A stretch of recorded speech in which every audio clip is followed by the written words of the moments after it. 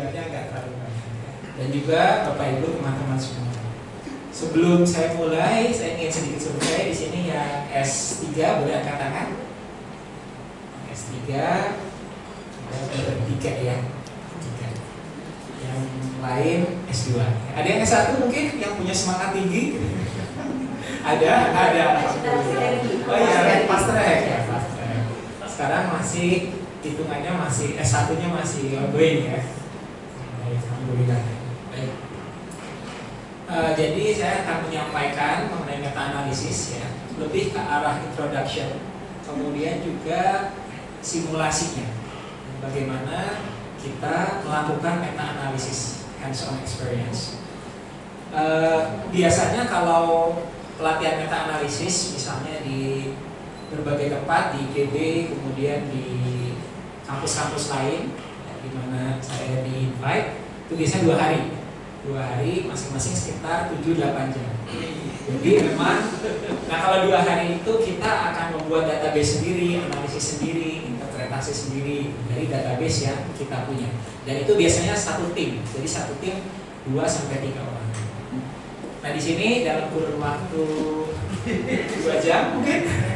Jam 12 atau kurang yang saya berpikir apa yang bisa disampaikan ya oke okay. introduction kemudian langsung kita ke bagaimana how to perform the analysis ya. nah saya mengambil uh, slide yang ini ya uh, perlu saya jelaskan juga kira-kira saya ngambilnya ini dari mana ada yang tahu nggak mana pak Pak, ini Bapak browsing internet terus dapat download gitu kan? Nah ini uh, sebetulnya ada historinya ya, istilahnya asbabun nuzul. Jadi tahun 2010 ketika saya sedang S3 di Swiss, itu saya berpikir gimana mencari ilmu atau lebih tepatnya metode untuk penelitian yang tidak tergantung dengan dana. Gitu. Nah saat itu saya dapat dua ya, setelah searching searching baca-baca dapat dua yang pertama adalah sistem dynamics. Nah itu kemudian saya ambil sebagai uh, setengah master postgraduate diploma namanya. Jadi beberapa negara punya sistem postgraduate diploma. Saya ambil untuk sistem dynamics postgraduate diploma di Polytechnic University of Catalunya di Barcelona di Spain ya. saya punya juga. Postgraduate diploma. Pernah dipakai. Ada di di di New England University. ah, iya di Australia punya juga ya nah itu belajar sistem dynamics ceritanya nah, kemudian untuk meta analisis uh, saya mengikuti workshop sekitar tiga hari. Kebetulan universitas tetangga kami ya, kalau di Zurich itu ada dua universitas satu yang teknik satu yang non teknik yang teknik itu RTH Zurich. Kalau non teknik di Universitas Zurich. Kayak ITB dan Unpad lah nah e, kebetulan Institute of Plant Ecology itu mengadakan pelatihan ini meta analisis ya, tiga hari. Sebetulnya ditujukan untuk member dari mereka jadi working group mereka. Cuma saya mohon kepada profesornya di sana untuk bisa ikut meskipun orang luar.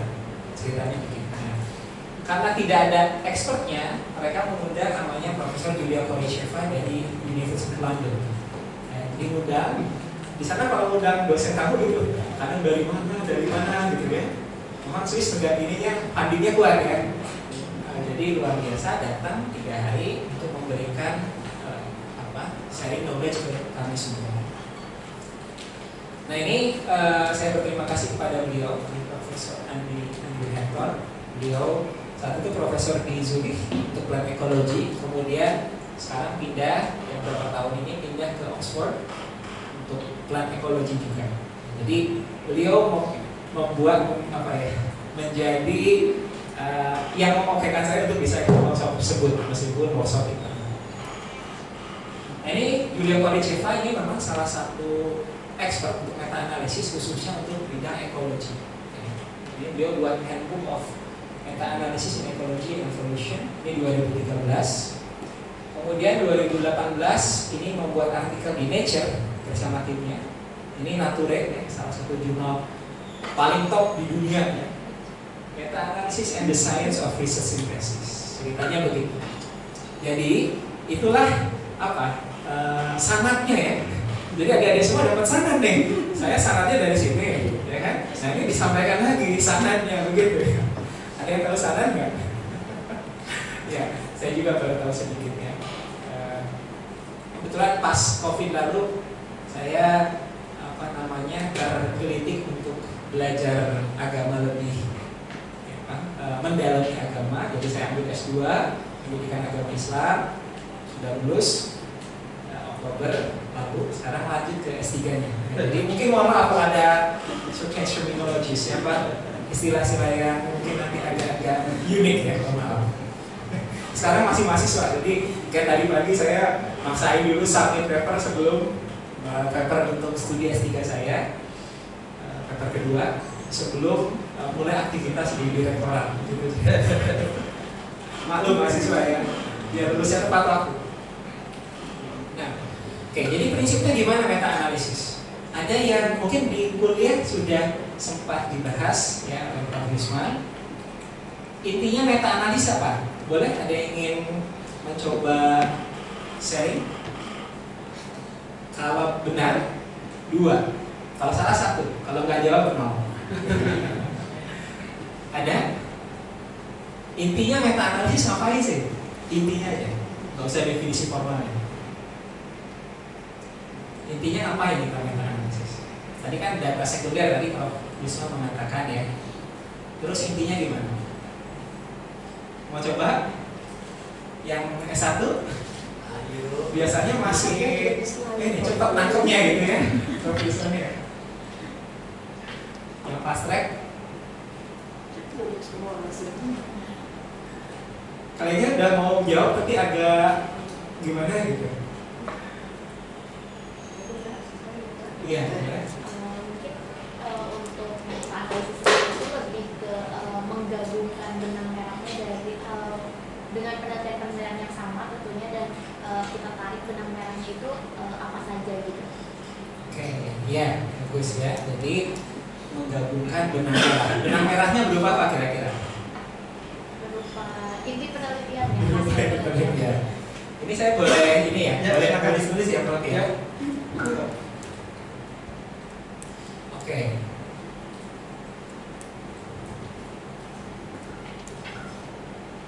Jadi dalam meta analisis itu sumber data, ya, sumber datanya adalah paper. Sumber datanya adalah ya. Sumber data itu dari artikel atau paper, paper atau artikel. Ya. Kalau kita baca artikel, itu nanti akan ada dua hal. Intinya ya. Yang pertama adalah data kuantitatif, ya, angka. Oke.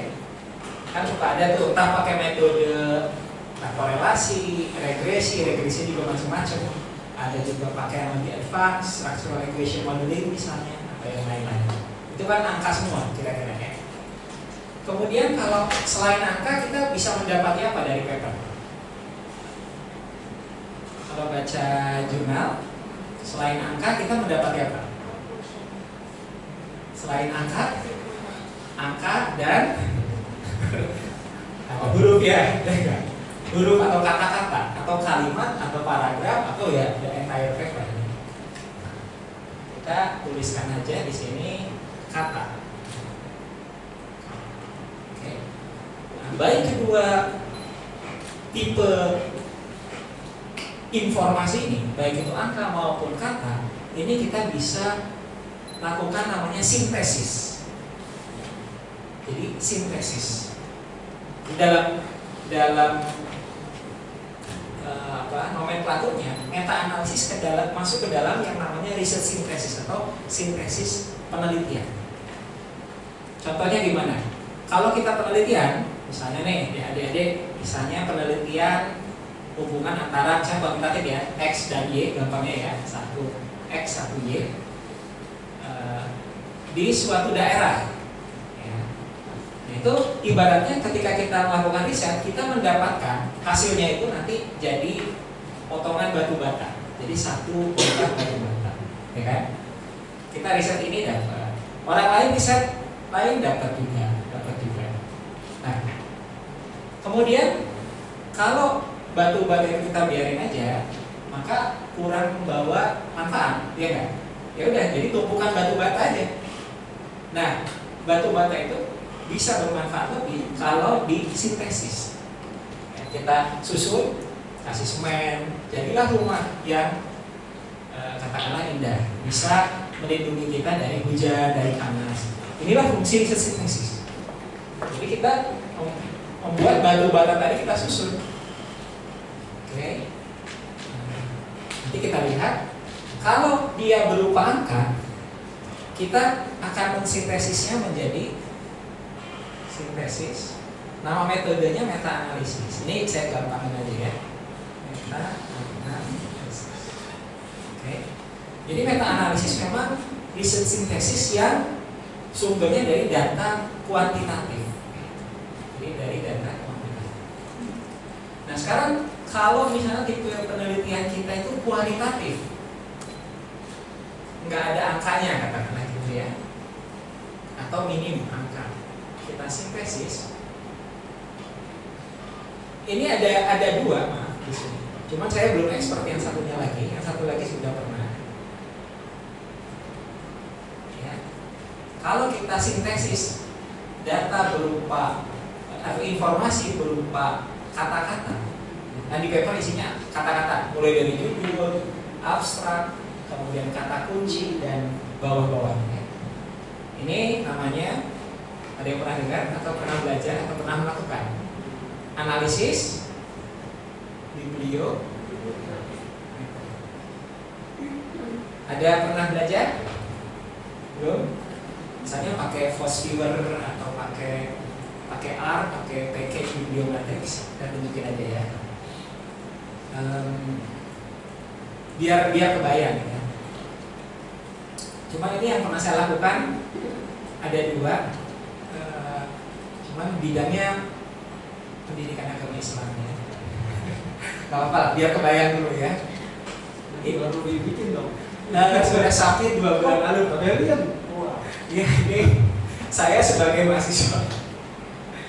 Nah, jadi uh, ini mohon maaf masih ini Prof masih statusnya under review. Jadi ada review. hanya ingin menunjukkan tipe datanya ya. Nah, ini judulnya ini. A Bibliomatic Analysis on Islamic Religiosity Research. Jadi memang S3 saya di di topik S3 saya adalah religiusitas.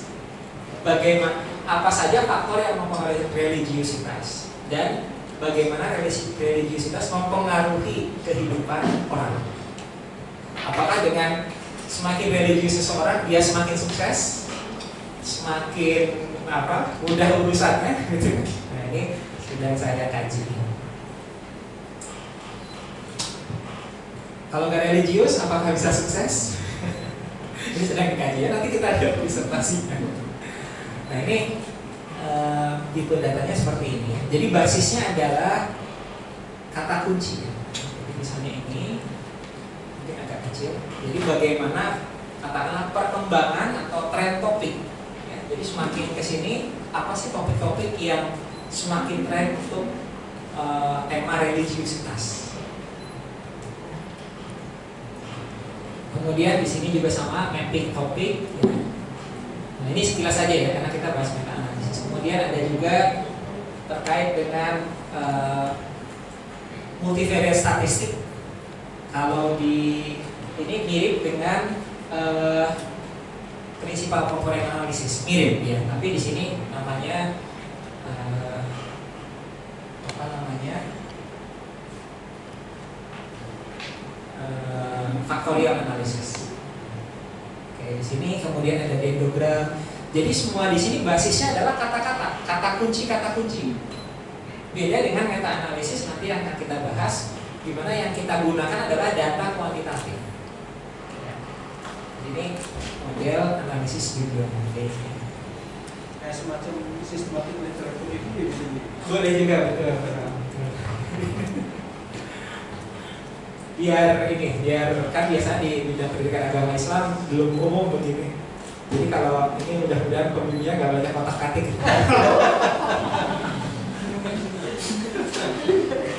harapannya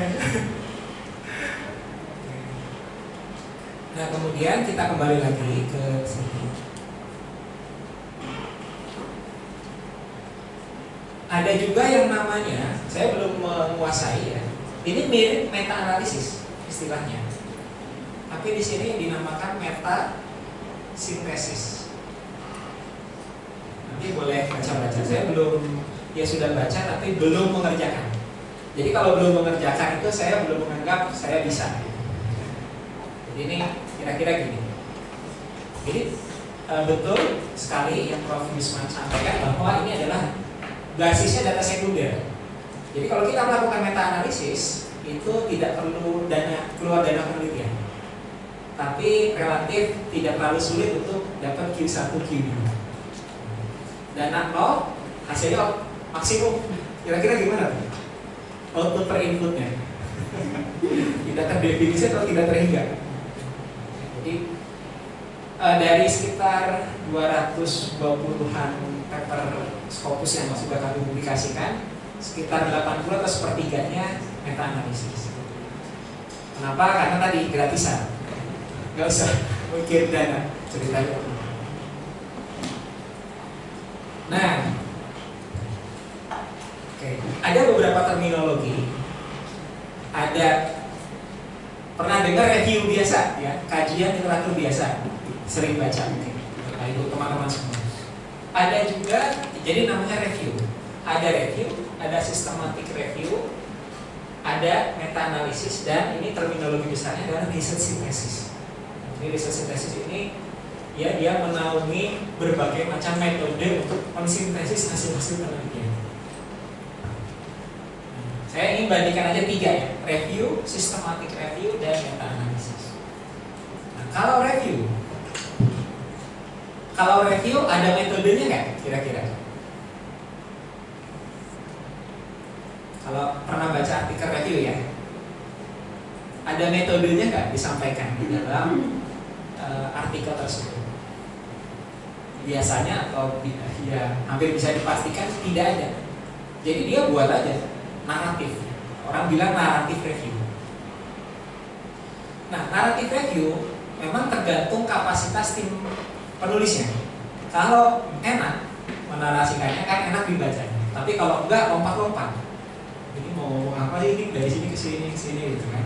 Nah, jadi review sebaik-baik artikel review maksudnya kalaupun dia bagus dia punya satu titik lemah kelemahan terbesar review adalah sangat subjektif tergantung paradigma atau bahkan ideologi dari penulisnya saya ambil contoh misalnya sampai sekarang pertanian organik itu dispute antara katakanlah Eropa dengan US ya. kalau US mindsetnya adalah uh, biological factory. Jadi makhluk hidup adalah biological factory. Tanaman, kemudian ternak, itu ya boleh dikatakan ya mungkin saya bisa jadi ekstrim, tapi intinya adalah tanaman ternak itu mesin biologis. Udah digedein secepat mungkin dengan berbagai cara, termasuk rekayasa genetika, terakhir misalnya CRISPR genome editing. Nah sementara Eropa dia lebih konservatif dia lebih berhati-hati mereka bahkan uh, istilahnya back to nature ya, atau pertanian organik itu yang lebih ketika kita minta dua orang profesor bidang agricultural system katakanlah ya diminta membuat review mengenai pertanian organik yang satu dari US satu dari Eropa bisa jadi itu hasil reviewnya bertolak belakang yang satu support dia akan ngambil artikel-artikel yang mensupport pertanian organik yang satu lagi sebaliknya bahwa pertanian organik itu masih belum mampu untuk mensupport kebutuhan pangan dunia. Di hari ini saya tampilkan datanya ya.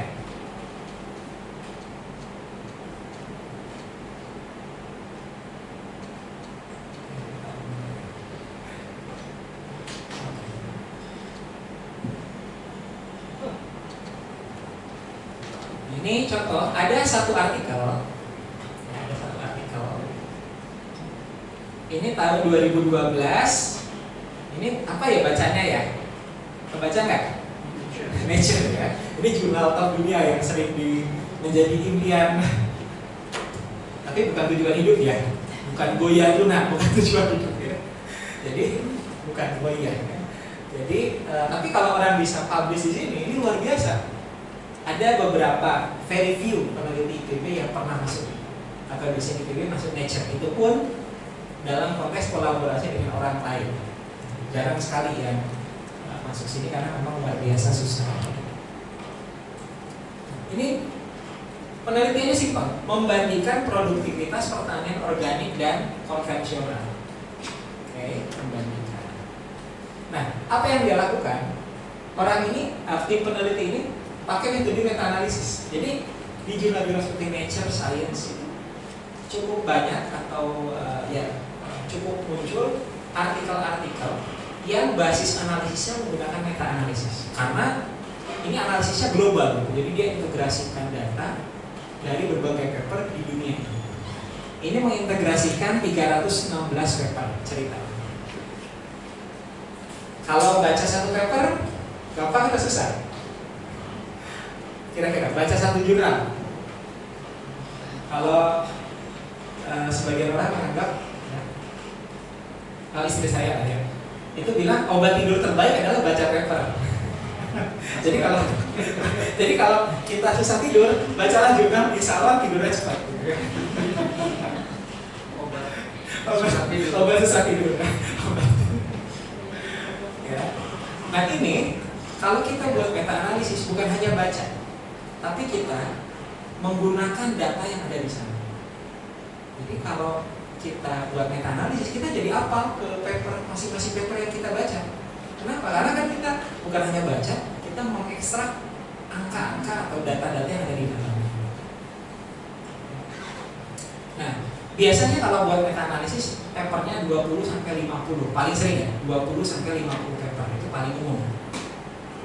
Ini ada 316 paper luar biasa. Ya. yang kerjanya cuma tiga orang tadi tim peneliti cuma tiga dia itu membandingkan. Ini dia pakai efek size nya nanti akan saya jelaskan adalah rasio organik dibagi konvensional. O per C organik ini nah, judulnya kan organik per dibandingkan dengan konvensional. Kita hanya ingin lihat bagaimana sih perbandingan produktivitas pertanian organik dengan konvensional. Maka dia ambil eh, perbandingannya melalui rasio organik dibagi konvensional. Jadi kalau organik dibagi konvensional nilainya satu, artinya apa? Artinya dia sama aja. Ya, misalnya angka ini, sama aja. Ini selang kepercayaan. Ya. Kalau set- maaf, setelah disintesis dari 316 paper untuk semua jenis tanaman, ternyata produktivitas pertanian organik itu hanya sekitar 75 persennya atau 0,75 dari konvensional. Nah ini yang bisa menjadi dasar bahwa tadi yang review orang Amerika tadi, ya organik sih bagus sih bagus, tapi nggak akan bisa menyelesaikan masalah kebutuhan pangan di dunia. Jadi tadi bisa bisa review itu bisa bertolak belakang tergantung dari paradigma yang dimiliki oleh masing-masing peneliti atau masing-masing saintis. Nah, tapi dari sini juga dari meta analisis itu kita juga bisa mengambil hikmahnya, misalnya, oke, okay, dia 75%, tapi ada beberapa kategori tanaman yang dia itu sebetulnya tidak berbeda antara organik dengan konvensional. Bisa pakai ini ide bisnis nih. Oh, kalau sayuran dia lebih rendah lagi. Kalau serealia gini. Oh, kalau buah-buahan nih. Jadi buah-buahan organik secara yield, secara produktivitas itu sama dengan buah-buahan konvensional. Ya Pak? Artinya kalau kita bisnis buah-buahan organik itu hasilnya sama, harganya sekitar dua kali lipat lebih tinggi. jadi masuk kira-kira gitu. Ya, jadi kita kembali ke bahan yang tadi. Jadi itu kelemahan dari review biasa. Apa bedanya dengan systematic review? Kalau systematic review, ketika dia melakukan review, seseorang membuat systematic review, dia harus menyampaikan metodologi bagaimana dia mereview. Gak boleh sembarangan.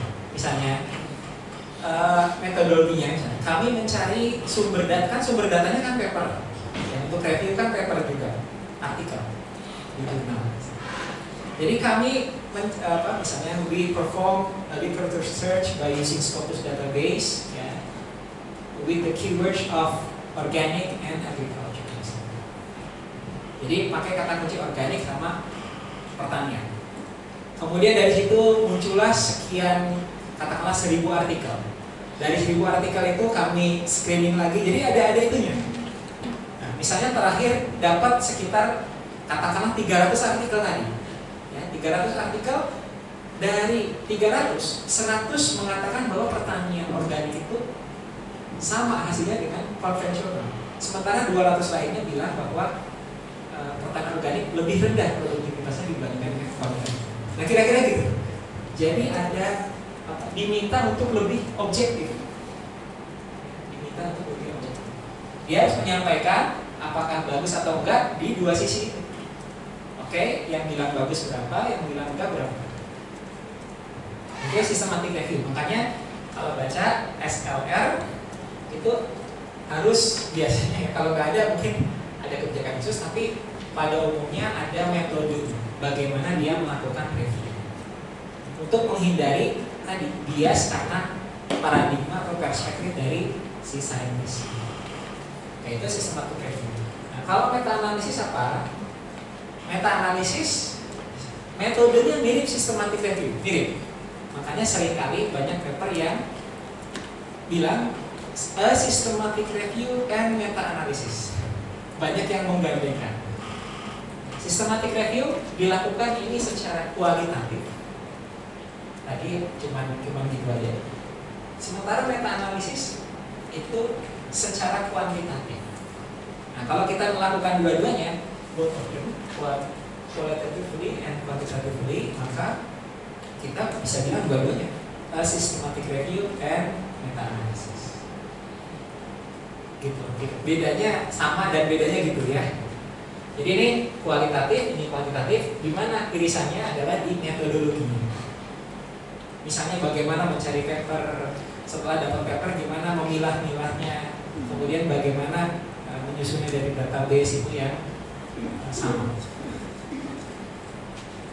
Kalau ada yang kurang jelas, just raise your hand ya. Jelas apa? Tanya. Oke, ini karena ekologi ya, kita lewat aja. Nah, uh, kalau review yang biasa punya sejumlah kelemahan ya, tadi ya. Uh, pertama subjektivitasnya. Kemudian saya langsung aja ambil yang mudahnya aja. Dia sulit untuk menghandle artikel yang size-nya banyak. Misalnya gini. Misalnya kita mau buat review. Kemudian cari di database Scopus. Ya. Ada yang pernah buka Scopus di sini? Pernah cari literatur pakai Scopus? Belum ya? Nanti kalau jadi dosen ya, kalau jadi dosen atau peneliti sekarang zikirnya katanya Scopus ya. Scopus, Scopus. Katanya begitu Bercanda aja ya kalau zikir yang yang lurus saja lah ya gitu ya ya jadi kalau jadi dosen jadi peneliti ya misalnya kayak jadi guru besar kayak jadi aku eh, atau profesor riset nah misalnya kita searching di database Scopus dapat seribu artikel kita mau buat review gimana kita bisa buat review kalau dari seribu artikel review itu saya sebanyak-banyaknya baca artikel review itu paling banyak sekitar 200-an daftar pustaka. Jadi kalau ada seribu, di, pasti bingung nih membuat review dari seribu artikel itu. Kalau kita pengen memasukkan katakanlah populasi paper itu semuanya ke dalam review. Oke. Okay. Nah, ini ini kalau nah, mungkin saya langsung aja ya. Biar nah. Untuk riset sintesis secara kuantitatif itu ada tiga metode. Ada vote counting, combining probability. Jadi cuma ngitung aja, menggabungkan proba, eh, probabilitas sama meta analisis. Cuma dua ini dilakukan di umumnya di masa yang lalu. Sekarang sudah kurang populer.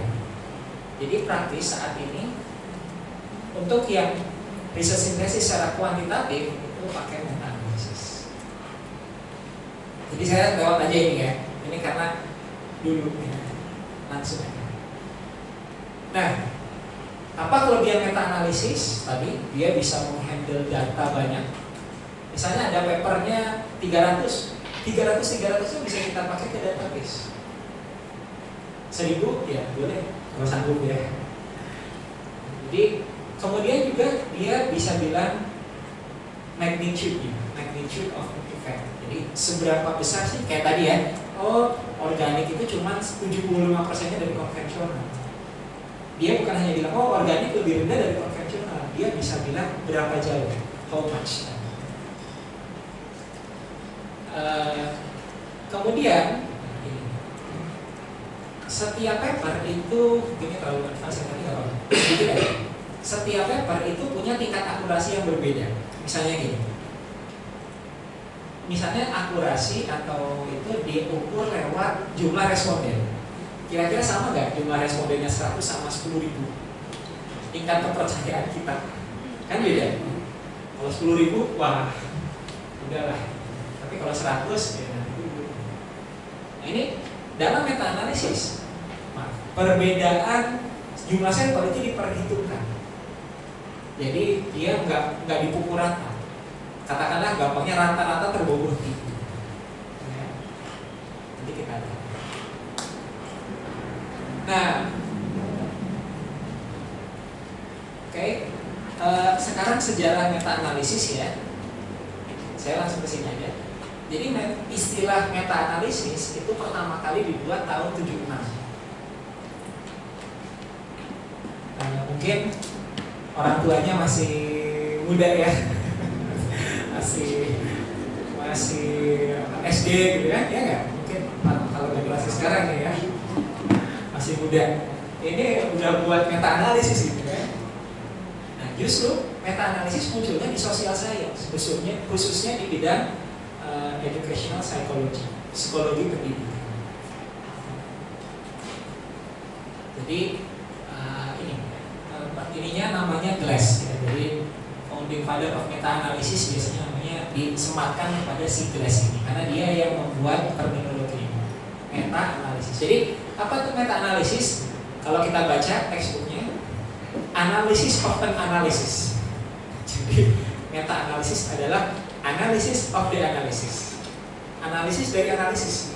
Jadi kalau riset kan kita melakukan analisis. Nah itu analisis dari hasil-hasil riset. Analisis of of the analysis. Nah, meskipun demikian, tetap ada yang mengkritik. Dua tahun kemudian muncul artikel yang mengkritik meta analisis. Bahkan disebutkan ini, an exercise in mega silliness. Kebodohan yang akbar jadi azim lakukannya bukan besar tapi akbar ini mega sih jadi tiga meta analisis tuh ini ngapain sih ngegabung-gabungin data yang memang berbeda gitu. Kondisi penelitian berbeda lokasi berbeda waktunya beda ngapain digabung-gabungin gitu? Exercise ini guys. Tapi pada pada jalan perjalanan waktu memang ada sejumlah uh, refining terhadap metodenya. Ada sejumlah koreksi, ada faktor koreksi dan sebagainya. Dan juga meta analisis sejauh ini satu-satunya metode yang secara kuantitatif bisa mengintegrasikan data dari penelitian yang berbeda. Nggak belum ditemukan metode lain. Karena penelitian itu kan pasti beda ya. Penelitian di sana, di sini pasti beda. Nggak mungkin ada yang sama. Bahkan antara drama sama CFP aja beda gitu kan. Ada yang menelitian di drama ya di CFP ya kalau digabungin ya pasti beda. Tapi sejauh ini adalah satu-satunya cara yang memungkinkan. Jadi nah, sekarang gimana kita e, mengurangi faktor-faktor di luar dari pengamanan kita kan ini?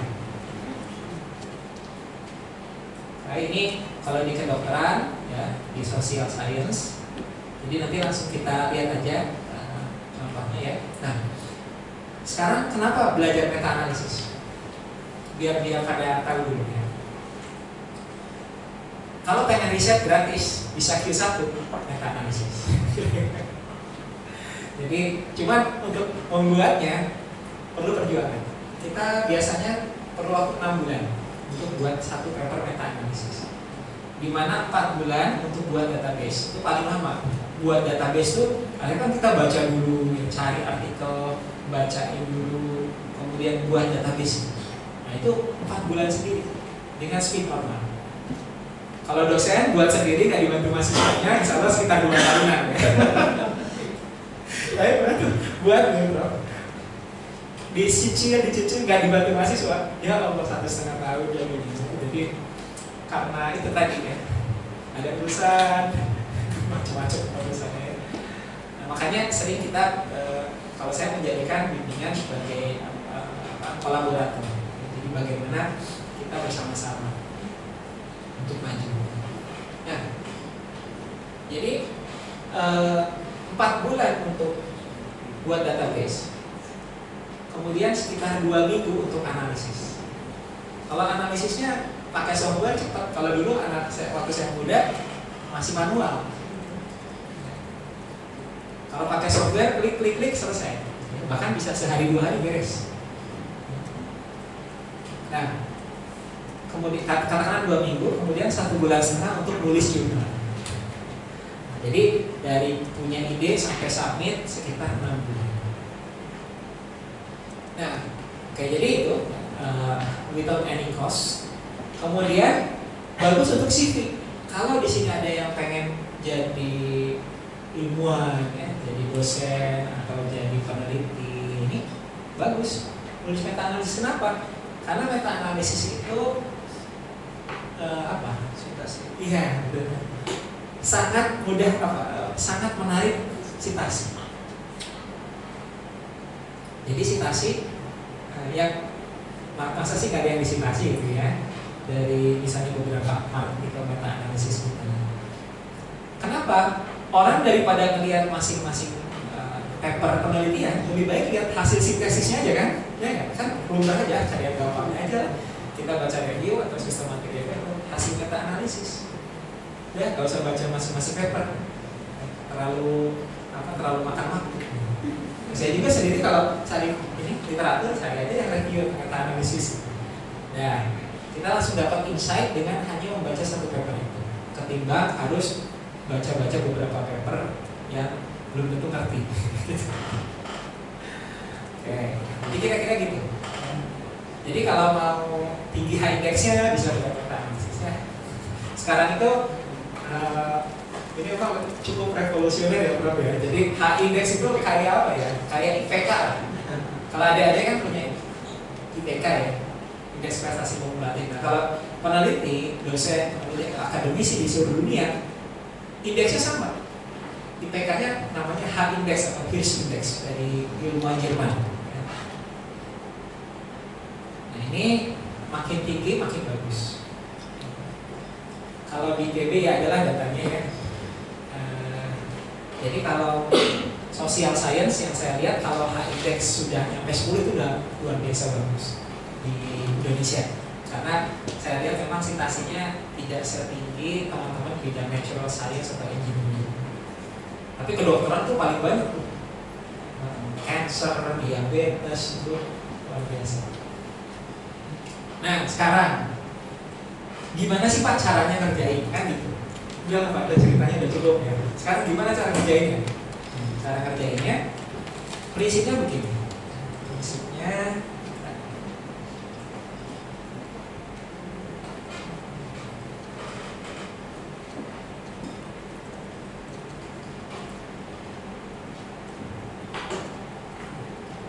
Nah, kalau pengen ngerjain meta analisis, ini ada lima tahapan. Pertama, formulasi apa question formulation. Intinya menentukan tujuan. Mau melakukan meta analisis apa? Nah, saya contohin aja ya. Ada satu artikel um, saya ambil dua lah ya bidang sosial ya. Yang pertama ini ya, ini. Yang kedua artikel saya sudah submit waktu saya S2 tapi masih belum ini masih belum apa masih belum uh, publish ya masih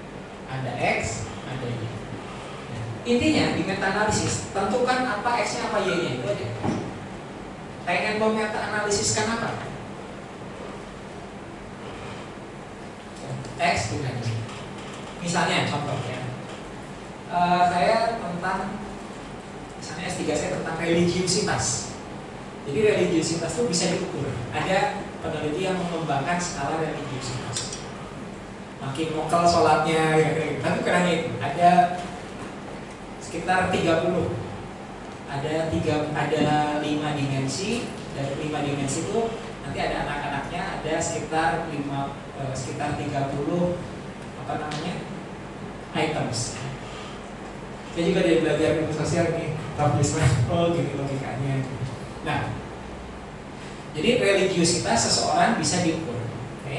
Nah sekarang e, misalnya saya pengen melihat hubungan antara religiusitas seseorang dengan misalnya kemampuan orang tersebut mengatasi stres atau daya tahan stres atau coping stres. Bisa diukur juga para-para psikologi punya instrumen untuk mengukur tingkat stres.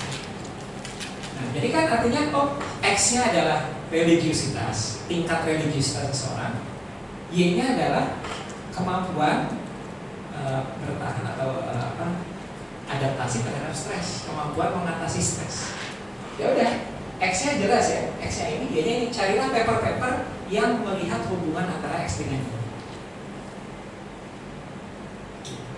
Jadi kita kumpulkan semua paper yang mengamati hubungan antara religiusitas dengan tingkat stres. Kumpulin aja. Oke. Nah, nanti itu di pertama. Di pertama. Nah, jadi yang pertama itu ya tujuannya apa XY-nya. Kemudian yang kedua ngumpulin literaturnya tadi, cari di misalnya database Scopus atau Google Scholar. Ada yang pernah pakai Publish or Perish? POP? Publish or Perish, ya. Tapi Publish or Perish nanti sumber datanya ya kalau dari Google Scholar, bisa dari Scopus, juga bisa dari beberapa database lain, ya. bisa juga dari web Oke, udah kita dapat nih. Misalnya kita dapat katakanlah 300 artikel dari hasil pencarian dapat 300 belum tentu 300 itu semuanya relevan maka saatnya lah kita bacain judulnya abstraknya ya. dua itulah minimalnya ada nggak sih apakah betul dia itu mengamati secara langsung hubungan antara X dan Y yang kita ingin teliti apakah langsung mengamati hubungan antara religiusitas dan tingkat stres? Nah katakanlah dari 300 kita dapat 100 oh yang benar-benar benar-benar sesuai itu 100 nih. Nah, baru yang 100 itu kita masuk ke database masuk ke database. Nanti akan saya tunjukkan contoh database. Masuk ke database. Sudah masuk ke database. Baru diolah. Kalau udah masuk ke database dan kita yakin database sudah oke okay, ngolah datanya karena bantuan software cepat. Bisa satu dua hari. Gampangnya satu dua minggu lah ya. Tapi bisa satu dua hari ya. Satu dua hari analisis sambil buat tabel buat nah setelah itu selesai ya udah interpretasi kita tulis. Gampang nggak? Nanti boleh coba ya. Jadi feel free lah kalau mau join paper gitu ya. jadi saya tidak tidak apa ya nggak harus lewat pembimbingan bersama tapi cukup misalnya uh, apa ya uh, apa nulis bareng jadi feel free lah kalau kalau mau apa namanya kolaborasi. At any means ya any forms. Nah kira-kira gitu tahapannya. Simple nggak? Nah sekarang kita lihat cara buatnya ya. Saya akan menyampaikan apa maaf. Sebelum buat simulasi saya akan menyampaikan satu contoh. Nah, ini ada ini orang saya lihat orang Andalas. Ya. Unan mungkin Rohisan apa sih kurang paham juga ahli-ahlinya Meta Analysis of Corporate Governance in Asia jadi meta analisis dari pengelolaan e, perusahaan di Asia. Ini menarik. Ini terbitnya di bisnis perspektif. Ini Q3. Saya heran. Di sini paper ini menggabungkan 77 artikel, tapi cuma Q3. Makanya saya penasaran, kenapa? Ini harusnya Q1. Setelah saya baca artikelnya, oh baru nggak saya, oh ternyata ini perubahan artikel ini. Jadi kenapa dia nggak bisa sampai Q1? Karena ada tapi kita bukan bicara kelemahannya, kita bicara eh, gimana meta analisis ini bekerja di ini. Oke ya, jadi di sini, oke ya, nah, jadi studi ini dia mengumpulkan literatur, sumber datanya literatur bagaimana pengelolaan perusahaan corporate governance di Asia ada dari Indonesia, dari Malaysia, dari mana macam-macam negara. Ya. Oke, singkat cerita dia mendapatkan 77 artikel. Nah, kemudian yang dia ambil hanya data berupa korelasi Pearson. Jadi angkanya yang diambil adalah korelasi. Oke, Nah, memang untuk bidang ilmu sosial yang paling sering digunakan adalah kalau nggak koefisien korelasi, juga e, misalnya nanti ada ada konversinya, misalnya data f data f ada chi square, ya, ada lagi ada macam-macam itu dikonversi nanti ke korelasi, termasuk juga koefisien yang ada di structural equation modeling kira-kira gitu. Jadi, nah, uh, saya kurang tahu bagaimana tim ini mengerjakan ya. Tapi kalau cuma diambil percent correlation, berarti dia menegasikan beberapa paper lain yang hasil analisis datanya bukan korelasi. Harusnya dia bisa apa, bisa mengkonversi data-data dengan uji statistik yang berbeda ke korelasi. Ada rumusnya saya ada di nanti di slide beberapa nih. Nah, sebentar, biar yakin ya.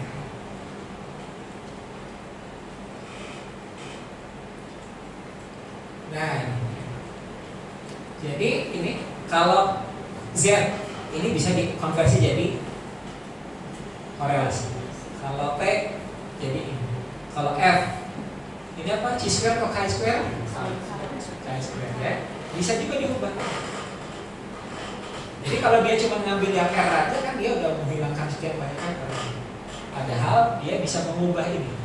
Itu salah satu kelemahan paper ini ya. Tapi anyway, 77 ini sudah termasuk banyak. 77 artikel. Kemudian dijelaskan nih, ini artikel-artikelnya.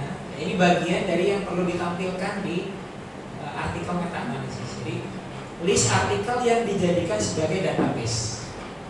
Ya, ini ada 77 ada dari Malaysia, Indonesia, Thailand, ya termasuk ada North Korea ya, Cina, Vietnam, macam-macam ya ada 70, 77, oke, 77, oke. Nah, setelah itu kemudian dia menggunakan intinya setiap paper kan ada nilai korelasinya. Nah sekarang nilai korelasi itu diintegrasikan, digabungin. Intinya begitu. Nilai korelasi itu digabungkan. Nanti kita lihat caranya ya di software. Nah ini adalah variabel-variabel yang dianalisis. Jadi saya pindah ke sini boleh. Dalam uh, artikel meta analisis pada prakteknya atau pada umumnya ada dua stadium. Pertama adalah yang melihat hubungan banyak X pengaruhnya ke satu Y. Jadi dia mengamati pengaruh dari banyak faktor terhadap banyak independen variabel pengaruhnya ke satu dependen variabel. Atau independen variabelnya satu pengaruh ke banyak independen variabel. Jadi kalau di paper begini. Kalau di jurnal-jurnal, apalagi Q1, Q2 ya, susah kita nyari 1X, 1Y. Seringkali ini, banyak X, 1Y, atau 1X banyak Y. Misalnya, apa aja sih faktor-faktor yang menentukan apa pengaruh dari masing-masing faktor yang menentukan religiusitas misalnya ya. Misalnya pendidikan orang tua, kan, pendapatan, kemudian satu apa namanya sekolah di mana ya. pesantren atau enggak atau di sekolah mana. Kan itu kan ngaruh semua tuh. Umur kayak gender ya kan ngaruh semua. Ininya religiusitas atau sebaliknya pengaruh religiusitas kepada apa? Kemampuan menghadapi stres kemudian ketenangan hidup ya. Dapatnya pasangan yang baik dan soleh pengen pengen punya istri atau suami yang baik nggak? Nah, berarti kita harus baik dulu. Ya. Kira-kira gitu. Jangan sampai mimpinya ketinggian, sementara kita nggak mentransformasi diri kita. Ini ada message-message tertentu ya. Kalau udah umur segini, saya dulu ya, saya dulu nikah umur dua-dua, istri dua satu ya. Dua-dua udah lulus belum? Eh kalau istri belum lulus. Kalau saya udah lulus, udah terlambat loh.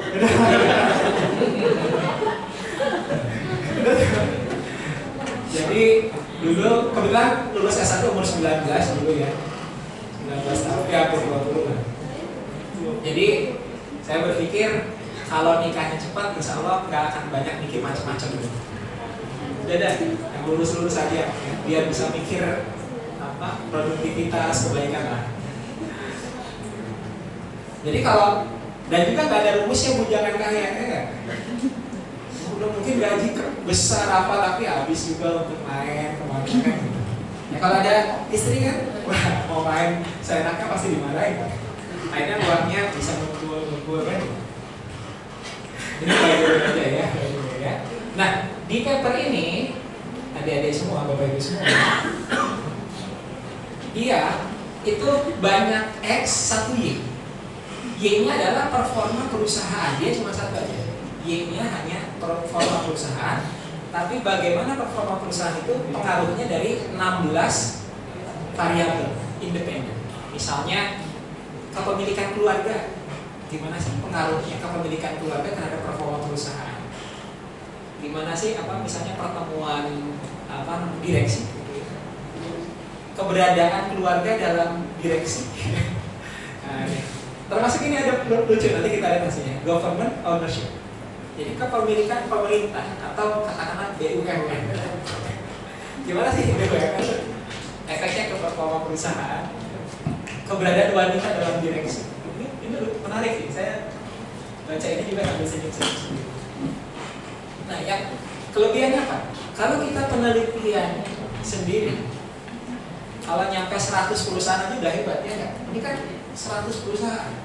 Apa yang kita survei, yang disurvei adalah perusahaan. Itu kalau perusahaannya mau disurvei, bisa dapat 100 luar biasa. Nah, ini coba lihat. 5.500 perusahaan. Padahal dia nggak kerjain sendiri. Dia baca papernya orang, dia integrasiin N-nya. Misalnya paper 1 100, paper 2 200, paper 3 sampai ke 77. Digabungin kan nyampe 50. Jadi kelebihan utamanya di sini statistical powernya kuat karena n-nya banyak. Bahkan ada untuk variabel-variabel tertentu sampai belasan ribu ini luar biasa.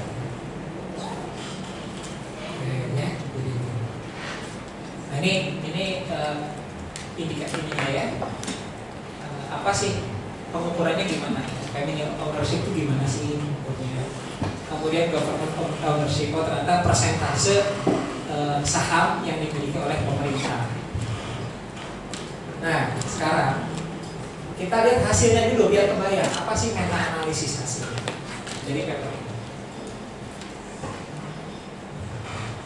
ES di sini namanya efek size. Jadi efek size itu nilai korelasi. Nilai korelasi kan setiap paper punya korelasi ya tadi ya. Paper satu ada nilai korelasinya untuk X dan Y tertentu. Paper 2, paper 3. Nah, ada 77. Kemudian R itu kemudian disintesis. Kalau gampangnya di rata-ratain, cuman rata-ratanya ada cara membuat rata-ratanya ada metodenya. Iya, betul, Ada uh, prinsipnya mau pakai weighting. Makanya nanti prosedur weightingnya uh, ada ya, misalnya apakah mau weightingnya basisnya fixed effect atau random effect. Kalau fixed effect biasanya yang uh, jadi weightingnya adalah satu per varian. Nah, ini prosedur metode yang dikembangkan sejauh ini. Nah, jadi ini adalah ES ini adalah efek size. Jadi kalau bicara efek size atau pernah dengar istilah efek size dalam meta analisis itu adalah hasil sintesis. Hasil gabungan dari 77 paper.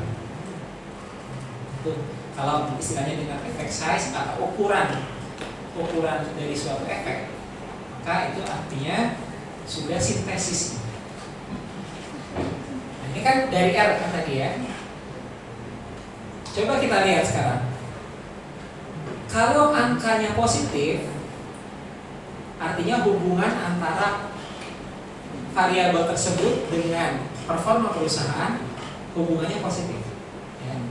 Kalau dia negatif, berarti dia hubungannya negatif. Misalnya family ownership dan dia sangat nyata ya negatif artinya apa?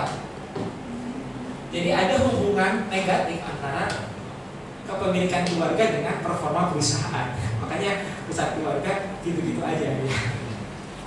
Dan ini lucu nih, ini uh, secara empiris ya, government ownership. Ya. Emang gimana se-Asia emang begitu ya? Namanya, namanya BUMN. Empirically ya gini. Beda emang. Kalau pure private, dia kan prinsipnya efisiensi ya kan pure private bagaimana uh, mem memaksimumkan uh, apa rasio output per input atau memaksimumkan profit meminimumkan input Winan on board nomor 13 nomor 13 nomor on board nggak uh, nggak nggak nggak nggak signifikan jadi aman negatif tapi tidak signifikan nggak signifikan jadi nggak masalah adanya wanita dalam uh, direksi gitu ya uh, kan lucu yang ini nih ya, government ownership ya. Di mana-mana bukannya di Indonesia. Nah, uh, ya ini nanti kita bisa baca. Jadi kira-kira itu hasilnya begini aja. Hasilnya ya inilah hasil sintesis. Nah, apa kelemahan paper ini? Ini kenapa dia nggak bisa Q1? Jadi kalau dalam meta analisis itu uh, saya balik lagi ke sini ya. Dalam meta analisis itu ada tiga hal atau tiga analisis yang bisa kita lakukan. Analisis utamanya ya. Nah ini akan kita simulasikan di hari ini. Jadi meta analisis berupa apa hasilnya ada tiga. Yang pertama adalah globalnya, hasil analisis global meta analisis. Global itu artinya hubungan antara X dan Y tapi digabungkan dari semua paper. Kayak ini. Ini baru bicara global. Baru bicara global. Ya, misalnya, oh ternyata uh, government ownership itu uh, berhubungan negatif ya, memiliki maaf, korelasi yang negatif dengan performa perusahaan. Ini di mana-mana ya, ternyata ya. Jadi bukan hanya di Indonesia, di mana-mana. Karena tadi logikanya beda kalau di private ya kan memaksimum profit. Kalau di pemerintahan memaksimumkan serapan anggaran itu udah beda logikanya. Logikanya nggak nyambung itu menurut saya. Tapi saya bukan ahli bisnis ekonomi ini mah pandangan umum aja. Nah makanya eh, ya kampus negeri sama swasta juga sama model pengelolaannya ya. Negeri gimana itu ya yang terpengaruh oleh PNS. Nah ini ini analisisnya baru global ya kayak begini. Yang lebih jauh lagi ada namanya subgroup subgroup analisis. Maksudnya apa? Subgroup kita bisa membuat subgroup analisis dari namanya moderator variabel yang saya jelaskan. Misalnya gampangnya gini, ini kan Asia ya. Asia itu kan macam-macam. Misalnya kalau dari region aja, ada Asia Selatan, India, Pakistan, Bangladesh itu kan. Ada Asia Tenggara, kita Malaysia, Thailand, ada Asia Timur, ya kan. Cina, Jepang, Korea, Taiwan, ada Asia Barat, ada Timur Tengah, gitu kan. Nah, apakah properti ini sama atau beda antara perusahaan-perusahaan yang lokasinya beda? Misalnya woman on board, kalau di Indonesia jangan-jangan jadi nilai nilai tidak nyata gini bisa jadi kalau setelah saya sekian 80 artikel meta analisis ya melihat data gini ini belum tentu benar-benar gak nyata. Bisa jadi komponen di dalamnya saling meniadakan. Misalnya kalau di Indonesia woman on board negatif hubungannya. Tapi misalnya di Jepang woman on board positif. Nah ketika dia disintesis hasilnya saling meniadakan kayaknya nggak ada hubungan jadi ini woman on board bisa kita bagi lagi misalnya woman on board regionnya apa ya misalnya uh, Southeast Asia, Middle East gitu Middle East tidak ada. tidak ada, Middle East tidak ada, Middle East nggak ada datanya ya, nggak boleh di data kami ya. Itu, jadi kelemahan paper ini di situ. Saya juga bingung kenapa subgroup ya. Nanti kita lihat ya. Jadi subgroup analisis bisa berdasarkan region, bisa berdasarkan katakanlah besar kecilnya perusahaan. Jadi setiap ini di sini variabel bisa kita lihat dari berbagai perspektif.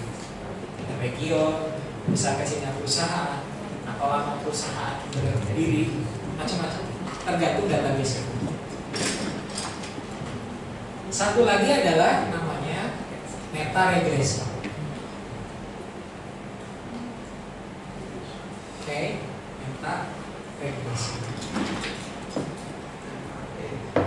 Meta, meta regresi intinya apa? Dia mirip dengan regresi biasa ya. Ini X. X ya. Kalau di regresi biasa kan ini Y ya. Kalau di meta analisis ini ES, efek size. Jadi hasil sintesisnya tadi. Misalnya X-nya adalah ini kan government ownership itu kan bukan bukan yes or tapi kan dia tadi kan percentage of saham berapa persen. Nah misalnya kita melihat misalnya nanti datanya gini.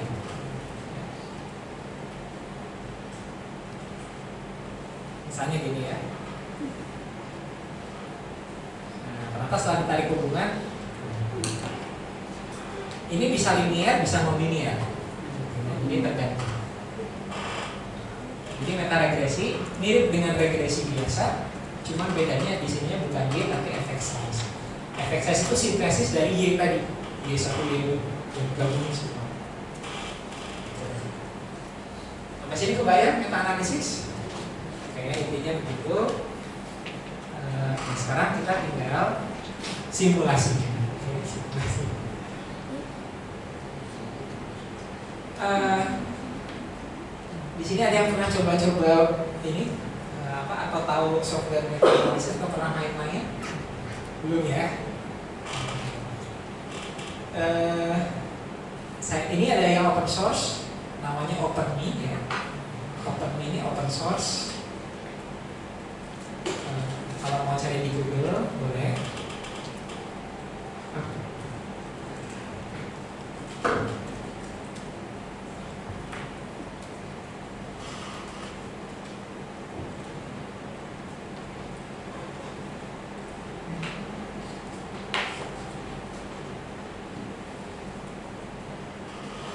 biar biar langsung ini ya.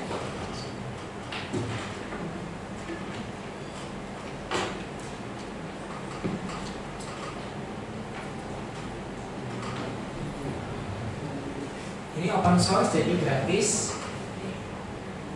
Cuman biasa, syarat dan ketentuan berlaku ya. Kalau gratis itu biasa begitu. Kita akan mensimulasikan yang gratis ini.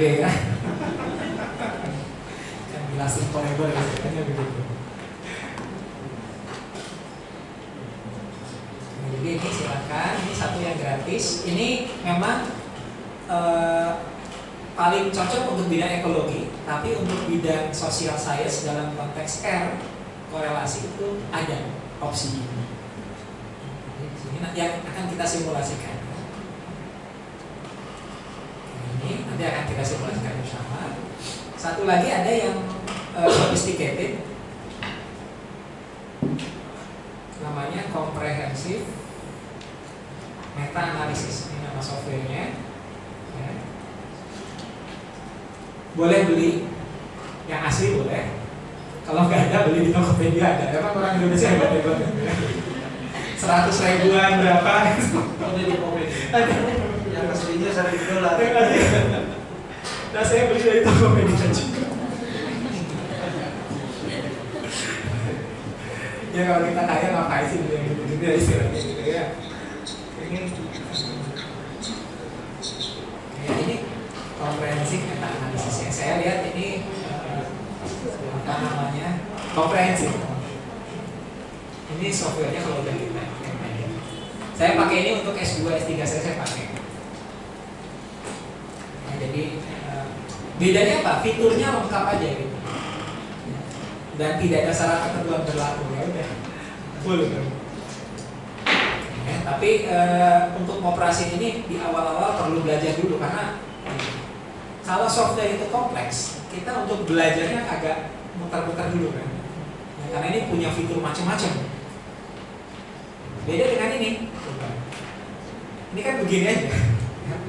Simple gitu. Excel. Kayak Excel biasa, up, pilihannya dikit, pilihannya dikit, pilihannya dikit, kan? Kalau ini komprehensif meta analisis bisa jadi ya, ini pilihannya banyak banget. Mau analisis apa? Itu banyak sekali yang harus kita baca dulu sebelum kita.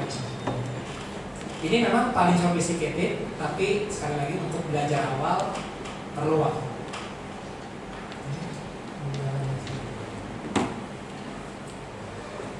Dan nanti kalau udah masuk baru kelihatan banyaknya.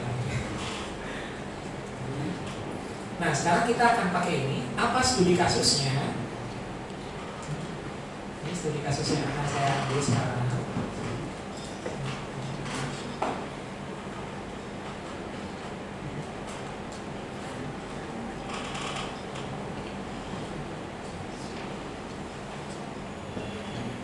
Oke, saya pernah waktu sebelum COVID diminta untuk eh, mengajar di Magister Manajemen.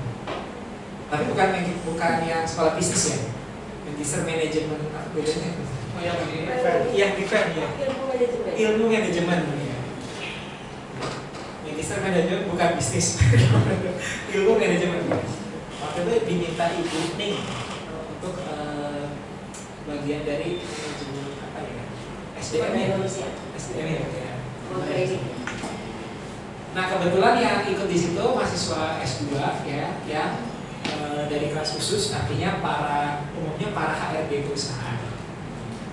Oke. Nah eh, waktu itu kami ini data dari dari mereka mereka ya.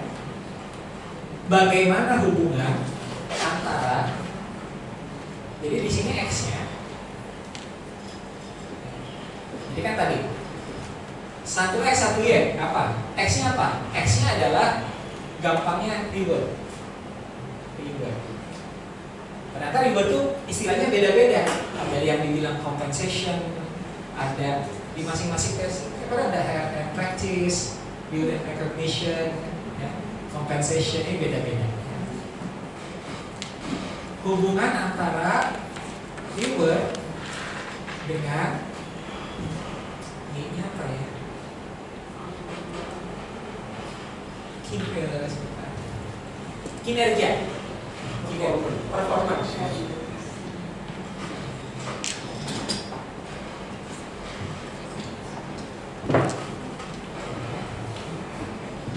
Jadi pertanyaannya kalau dikasih reward itu benar mendukung performa nggak sih? Jangan-jangan enggak ya? Jangan-jangan. Nah ini menarik. Kita bisa paham nih. Mungkin kapan reward itu bagus, kapan enggak? Kapan enggak efek?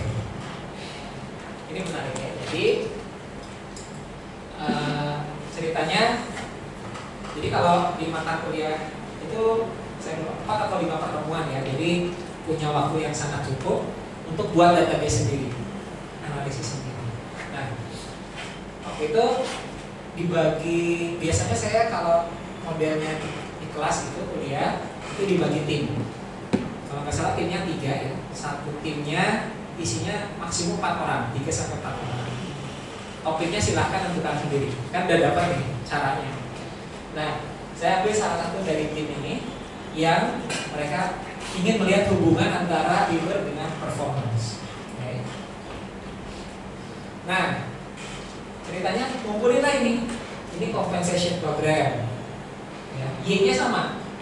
Ini X-nya ada beberapa. Kenapa dis- disebutin semua supaya eh, menjelaskan tahapannya ya. Ini variabelnya ini hubungannya bagaimana. Ini compensation program T. Sekali lagi nilainya bisa beda-beda. Uji statistiknya bisa beda-beda. Bisa pakai T, bisa pakai Z, bisa chi-square, bisa langsung korelasi atau yang lain atau tadi ya koefisien isem. Nah ini negatif, ini positif. Ini dari 10 paper. 10 paper. Oke. Nah, ini yang warna biru ini yang diambil ya. Nah singkat cerita dipindahkanlah ke ke sini. Ya. Tapi dikonversi dulu jadi R. Tadi ada yang T,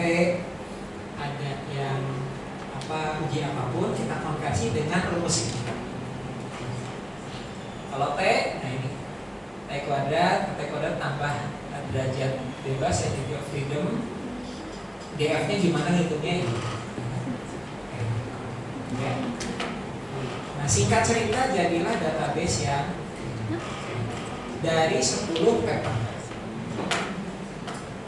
Nah, eh, karena saya ingin menunjukkan juga bagaimana subgroup analisis, maka saya buat kategorisasi dari perusahaannya supaya bisa melihat bedanya. Ada yang perusahaan eh, apa, small medium enterprise MKM, ya. ada juga perbankan, ada yang lainnya. Yang lainnya ini eh, apa? Selain daripada dua ini, selain daripada dua ini dibuat ada. Kenapa nggak kita lebih detail? Kurang datanya. Kecuali kalau kita datanya ada 50 atau lebih dari itu, kita buat kategorisasi yang lebih detail. Karena ini cuma 10 ya, 3 oke lah. Oke, kemudian masing-masing ada nilai R-nya. Ini yang saya maksud. Setiap penelitian itu punya hasil yang berbeda. Misalnya di sini negatif, gak tahu nyata atau enggak ya, saya nggak tahu. Ada yang nggak beda nyata nih, 0,05. Jadi ada yang bilang oh performa apa eh, reward itu bagus untuk performa ini bagus nih. Tapi sebagian lain bilang nggak efek, sebagian lain bilang justru negatif. Tidak tahu negatif gimana ya. Kalau dikasih reward aja negatif, apalagi nggak dikasih. Oke, ceritanya sudah diubah jadi ini. Nah sekarang gimana kita masuk ke open me kan gitu ya? Ini open me. Oke, eh, memang eh, nanti kalau ada yang tertarik WA aja, mungkin saya bisa kirim contoh database yang untuk latihan. Kalau ada yang tertarik. Ini dari open ini kita bisa input sendiri ke sini. Boleh input sendiri ya. Kalau kuat. Paling enak sih buat di Excel, kemudian dari Excel diimport. Hanya saja karena tadi kan syarat dan ketentuan berlaku, softwarenya gratis, dia hanya bisa mengimpor bentuk CSV, CSV, bukan XLS.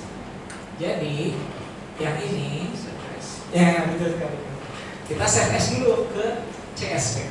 Nah ini udah saya save kan ya. Nah, ini ya. Memang sudah saya save kan. Nah ini, sudah. Nah ini sudah CSV. CSV. Oke. Ini dua ini nanti akan dihitung eh, apa namanya di software. Oke, jadi yang bisa kita lakukan adalah impor CSV, ya kan? Impor ya, impor apa ekspor? Dari luar ke dalam, impor ya. Saya. Oke, apakah di sini ada pertanyaan, ada dialog box? Apakah eh, file CSV, CSV ini dari Excel? Oh iya, dari mana lagi? Kemudian kita pilih. Ya, kalau udah enak, kalau database sudah jadi enak klik klik klik jadi. Kemudian kita pilih di mana eh, si apa namanya ada pemilu sekarang ya. Nggak tahu ya, mungkin saya nggak analisis apa gitu.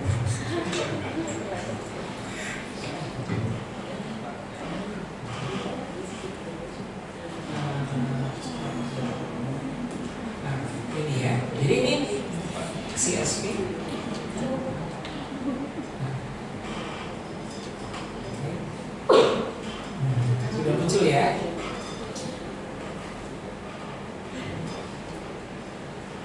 Nah, maaf ini saya harus saya hapus karena ini akan kita dapatkan lewat perhitungan hasil.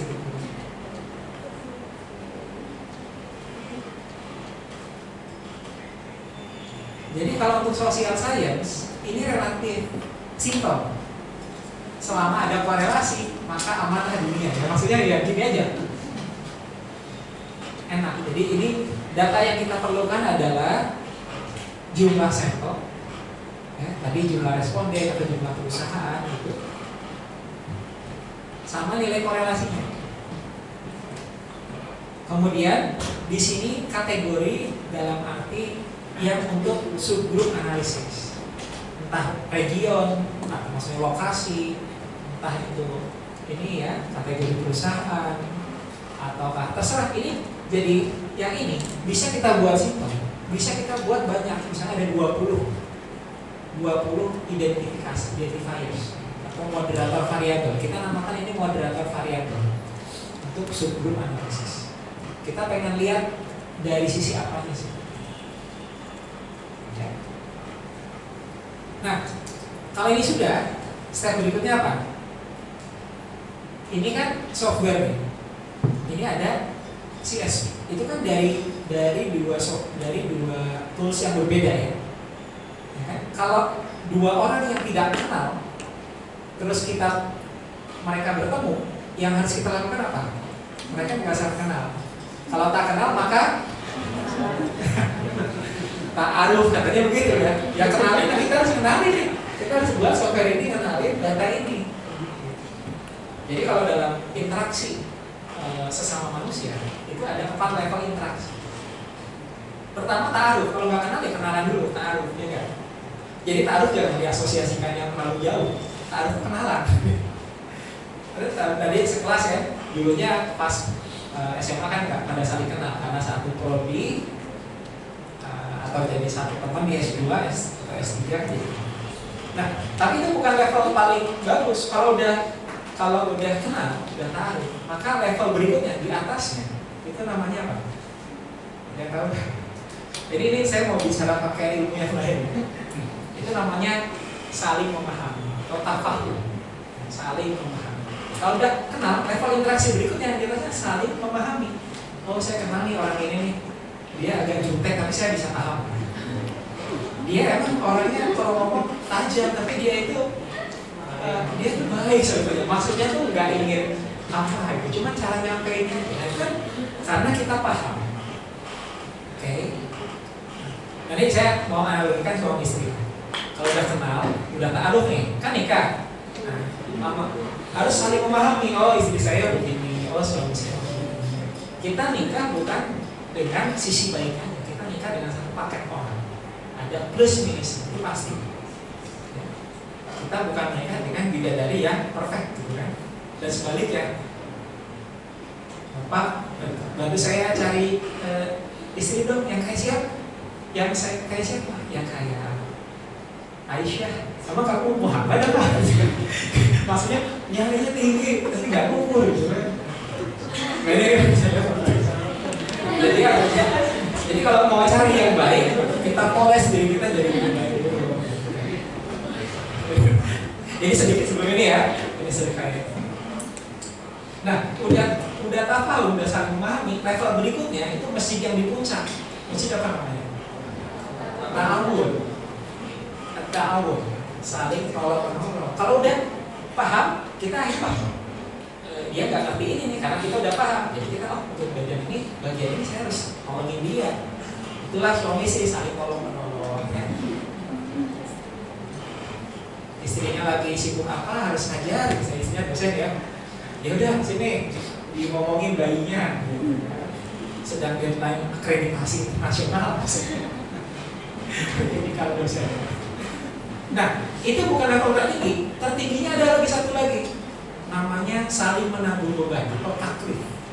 Saling menanggung beban. Artinya apa? Ya udah. Wah ini nggak bisa. Langsung kita handle.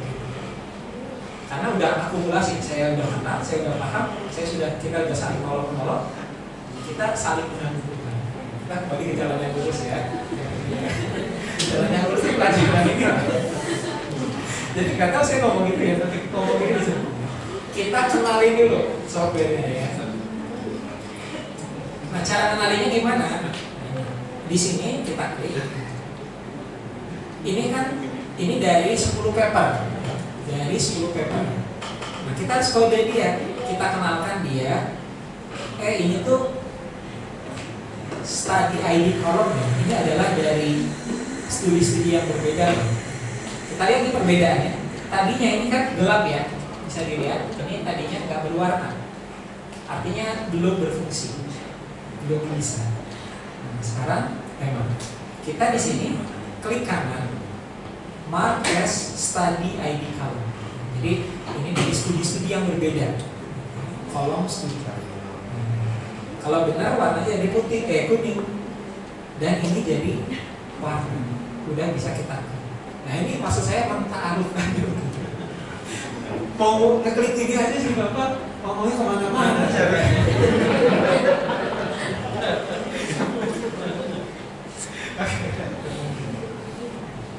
Nah kalau yang kategori seperti ini ini nggak usah kita coding. Nah, kemudian yang perlu kita coding ini n.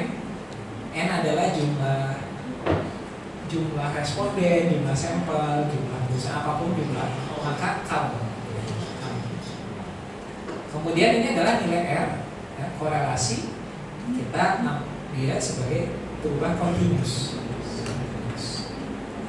Udah, udah fully kenalan ya, udah lengkap.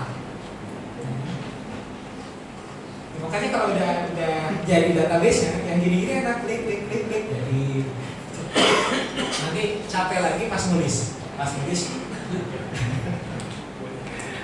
nah ini kan sudah sekarang kita pengen mengkonversi ini menjadi unit yang bisa dibandingkan satu sama lain.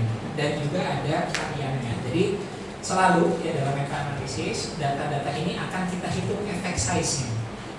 Karena efek size itu yang bisa membuat satu paper dengan paper lain digabungin.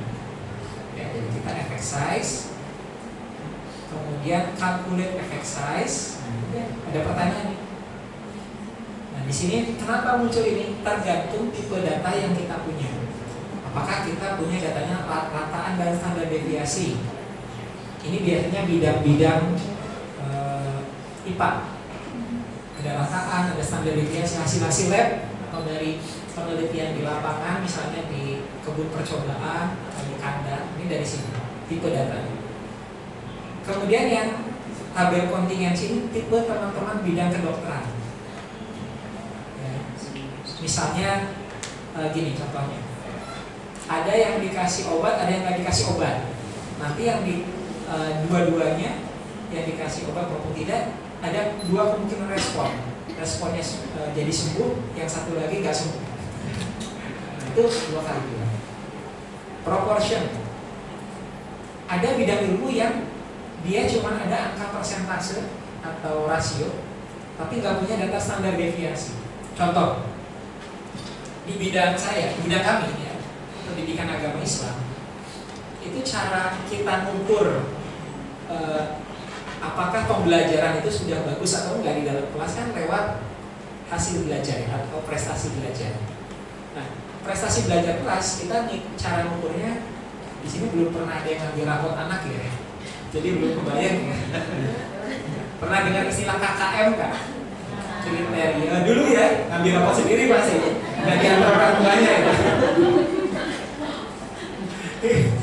Saya dulu waktu SMP ranking terakhir bapaknya udah kamu ngambil rapot sendiri aja. ya, jadi kriteria ketuntasan minimum. Misalnya dengan metode mengajar yang biasa, ya, yang as usual, misalnya KKM-nya dari sekelas 40 orang cuma 60 persen. Tapi kemudian setelah metode pembelajaran ditambah katakanlah dengan multimedia, kalian YouTube dan sebagainya, naik jadi 80%. Jadi angkanya yang ada itu cuma itu aja 60 80 persen, nggak ada standar deviasi. Nah itu masuk ke yang. Ini bidang-bidang pendidikan itu banyak yang kalau di sosek yang saya lihat memang ini paling berbeda. Basisnya nilainya adalah korek apa koefisien korelasi. Di sini cuma ada satu opsi. Kalau proportion nih mau pilih yang mana, efek size-nya, algoritmanya mau yang mana. Apa pun yang kita pilih di sini nggak masalah, nggak akan dimasalahkan oleh reviewer. Karena ini pilihan. Jadi ada orang yang mengembangkan algoritma berbeda. Nah, jadi mau pilih ini, ini terserah. Saking terserahnya bilang terserahnya setelah. Saking terserahnya setelah. Nah kalau korelasi itu cuma ada satu yakni Fisher Z. Ini juga yang digunakan oleh Lucia paper yang ini. Ini adalah Z. Jadi ini bukan korelasi lagi tapi uh, uh, apa Fisher Z. Oke. Oke jadi kita pilih next. Enak gak mana data korelasi? Kan gitu aja R. Mana data sample size? N. Enak gak udah tinggal klik klik aja udah. Gak usah pakai mikir deh. Ya mikir mikir finish. Udah finish. Nah udah dihitungin apa dia. Nah, oke. Ini step pertama ya step Nah, jadi setelah efek size dihitung, ada rumusnya tapi nanti takut ke panjangan. Jadi setelah efek size dihitung, jadi sama ini, R-nya sekian, Z-nya juga kan minus. Jadi intinya ini mirip-mirip sebetulnya, mirip-mirip. Oke, nah setelah ini baru masuk ke analisis. Analisis standar meta analisis misalnya ini tinggal next next aja nih. Efek size apa? ZR bener kan bener. variannya apa? Varian Z. Kenapa perlu ada varian? Saya akan jelaskan pas di akhir ini di interpretasi mau mana aja yang dianalisis? Apakah mau semuanya atau tertentu? Bisa kita ya kita pengen semuanya misalnya. Di subgroup ya. ah iya bisa di sini Next. Nah di sini ada metode lagi, terserah pilih yang mana. Yang biasanya nggak dipertanyakan apakah random effect atau fixed effect. Ini masalah metode pembobotan. Nah untuk pembobotan random effect, apakah mau pakai algoritma Darsimonian Late, Hedges Hawking, Sidik-Yongman. Ini kalau kita lihat tadi yang paper ini dia pakai Hedges Hawking sih. Oke Hedges and Hawking ya gitu ya. Jadi be- bebas ini kita mau pilih yang mana. Nah kalau di software ini defaultnya Darsimonian Late dan saya baca-baca ini yang paling sering dipakai. Tinggal tulis saja di di apa di, di metode integrasi data menggunakan continuous random effect dengan algoritma Darsimonian Late. Dah selesai. Tapi kalau untuk ujian tesis nanti harus lihat-lihat lagi, baca-baca lagi ya. Gimana sih rumusnya? Next, finish tuh kan enak. Oke, hasilnya. Inilah hasilnya. Hasil meta analisis itu utamanya dalam bentuk namanya forest plot atau plot hutan. Plot hutan. Nah, ini kita bisa lihat bagaimana pengaruh dari masing-masing paper. Ada paper yang bilang bahwa ini negatif ya. Artinya apa? Artinya eh, apa? Reward itu justru malah menurunkan performa. Gak tahu gimana. Reward menurunkan performa. Negatif. Negatif. Hubungannya berkebalikan. Ada yang bilang tidak nyata nih ini bahwa reward nggak ngaruh ke performa. Itulah dalam penelitian mau baik itu social science maupun bidang IPA, natural science, variasi ini tuh selalu terjadi. Hubungan antara S dan I ada bilang positif, negatif, atau nggak berhubungan gitu. Kondisional. Kondisional. Makanya ketika sangat wajar para peneliti itu ribut karena yang dia baca beda-beda. Ada yang dia baca yang positif, ada yang negatif. Pas diketemuin ribut, "Ah, enggak hubungannya positif, enggak kok negatif. kan begitu ya. Nah, makanya manusia, makanya memang dalam paradigma keilmuan barat, gitu, eh, dalam filsafat ilmu barat, sumber kebenaran dua. Yang pertama adalah logis, yang kedua adalah eh, apa namanya observ apa dapat diamati empirically proven, terbukti, dapat dibuktikan. Makanya uh, dan juga tidak menerima kebenaran absolut. Jadi kebenaran relatif. Makanya ketika bilang nyata atau enggak, benar atau tidak, itu harus pakai selang kepercayaan. Inilah selang kepercayaan. Bahwa dalam konsensusnya yang dianggap benar adalah yang minimal kita yakin kalau kita percaya 95% Gak banyak sistem di sekarang ini di produk-produk ilmuwan barat yang kebenaran 100% selalu ada probabilitas. Historinya panjang. Kenapa kebenaran tidak ada yang absolut tapi relatif? Kita harus lihat dulu ya dulu. Bagaimana hubungan antara ilmu ilmuwan di barat dengan katakanlah dengan agama dengan gereja. Kemudian pertentangan Galileo Galilei Copernicus ya kan? Lari ke masa-masa renaissance of lalu evolusi industri. Intinya adalah produk-produk ilmu barat sekarang adalah produk sekuler. Ya e, karena mereka menganggap bahwa agama itu mengakar ilmu dan ini beda kalau di Islam. Islam itu justru sebaliknya. Hubungan antara agama dengan ilmu harmonis. Buktinya apa? Era Abbasiyah. Panjang kalau diceritain. Ada satu buku sendiri nah makanya dalam Islam kebenaran itu ada yang absolut. Kebenaran yang tidak relatif. Dari mana sumbernya? Dari revelation dari wahyu makanya kita baca di awal-awal surat Al-Baqarah dari kita tidak ada keraguan di dalamnya. Tidak ada peluang salah sedikit pun di dalam artinya apa? Tidak ada. Itu itu benar absolut. Ya. ketika ada suatu buku menyatakan itu pasti bukan buatan manusia. Di challenge 1500 tahun buktikan kalau ada satu huruf atau satu kata atau satu kalimat yang salah. Sejauh ini belum pernah. Ya, kita kembali ke jalan yang lurus ya. Oke ya. Uh, jadi makanya hasil itu bisa ber beraneka ragam. Yang lain bilang positif. Oh jadi bagus. Minggu itu meningkatkan performa, performa karyawan,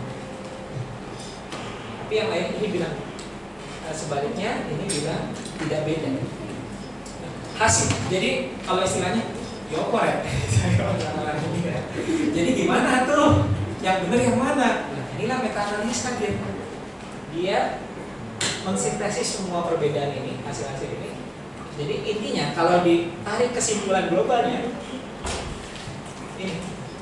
Dia selang kepercayaannya tidak menyentuh angka nol. Kalau nol itu artinya nggak beda ya, bahwa dia artinya uh, reward itu firmly meningkatkan performa karyawan.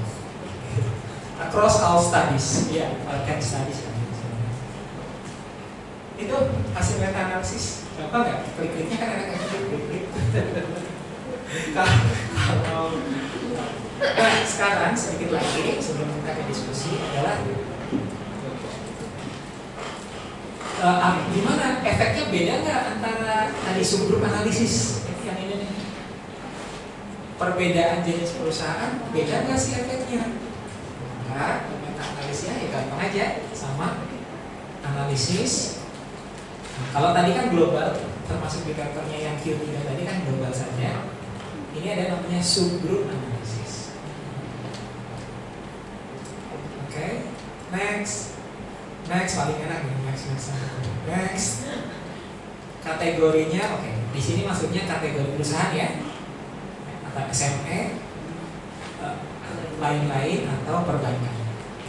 Next. Finish.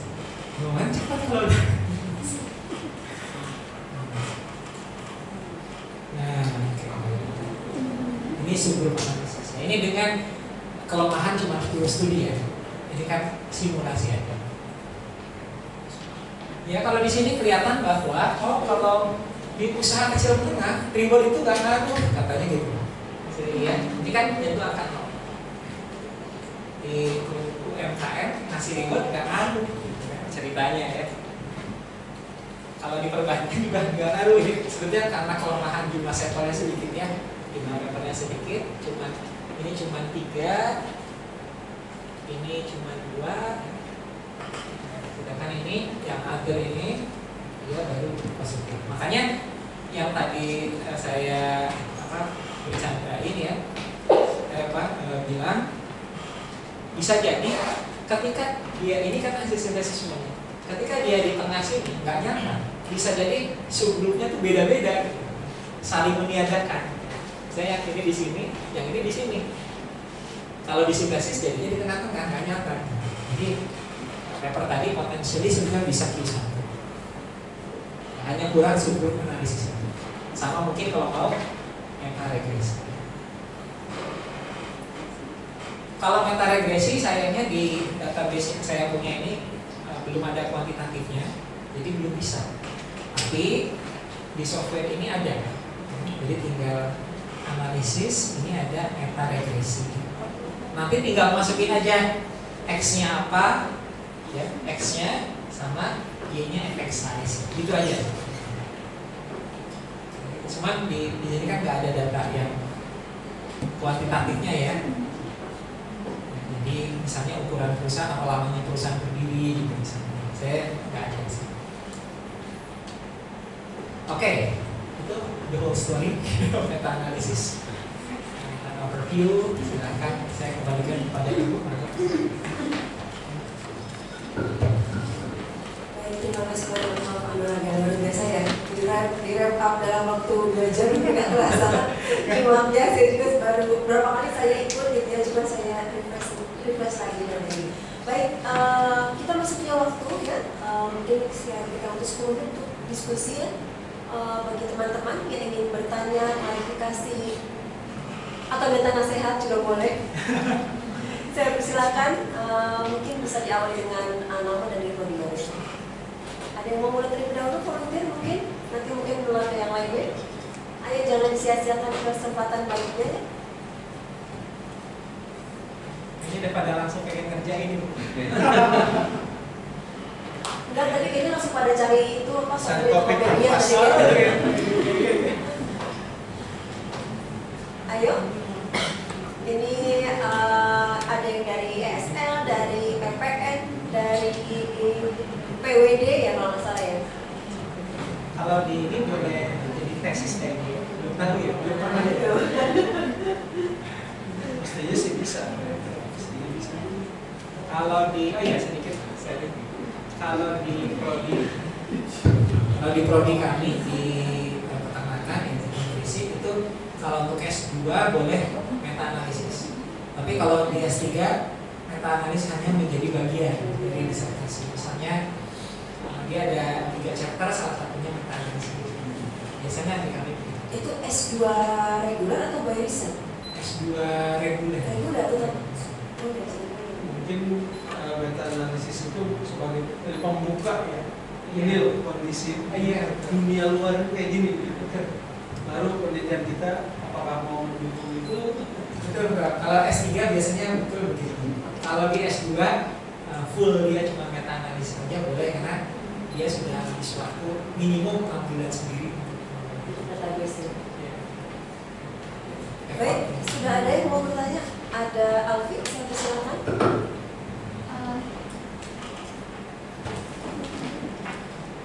Eh, Assalamualaikum warahmatullahi wabarakatuh. Selamat pagi, Prof. Saya eh pagi selamat. lagi menjelang sore. Eh, saya Alfiana dari ESL. Saya mau bertanya, mungkin agak receh pertanyaannya, tapi eh, agak bingung tadi untuk mencari CR itu kalau yang di jurnal yang mananya mungkin perlu dijelasin sedikit. Terus sama yang meta regresi nanti hasil analisisnya itu bentuknya seperti apa? Mungkin Yang- cukup itu dulu dari saya. Oh iya, yang pertama tadi apa mencari apa? Yang R. Oh, Si mencari R. Iya. Oh iya. oke. Ya, Baik.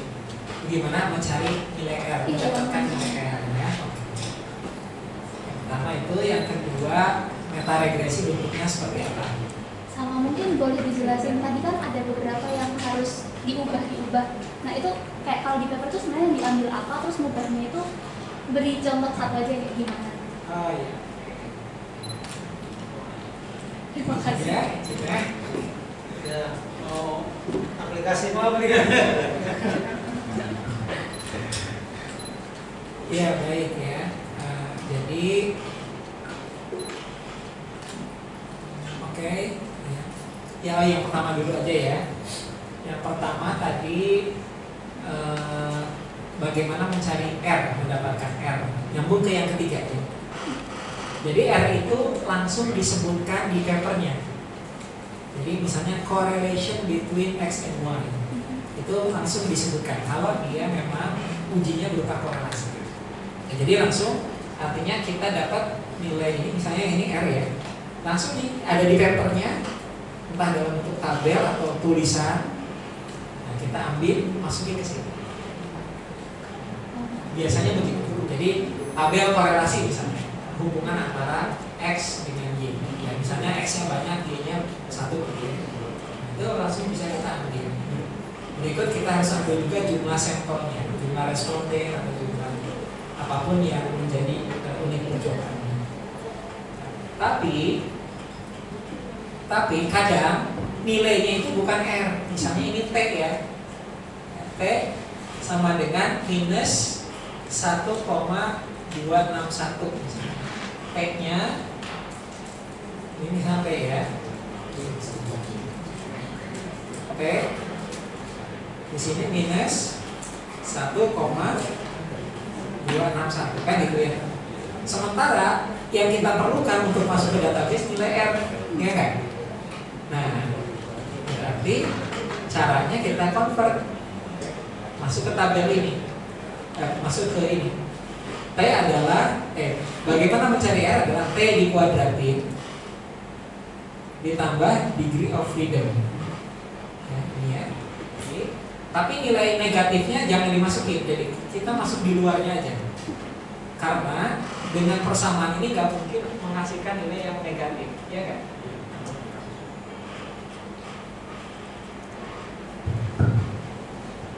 Jadi persamaan ini nggak sementara nilai negatif atau positif itu harus clear. Jadi nilai negatif harus kita?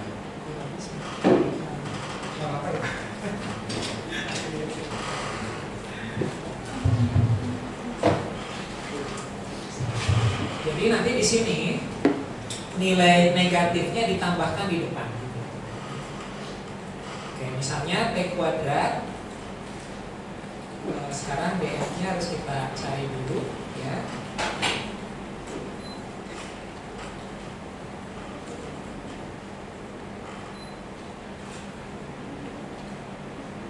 df-nya oke kita anggap inilah ya intinya di sini eh,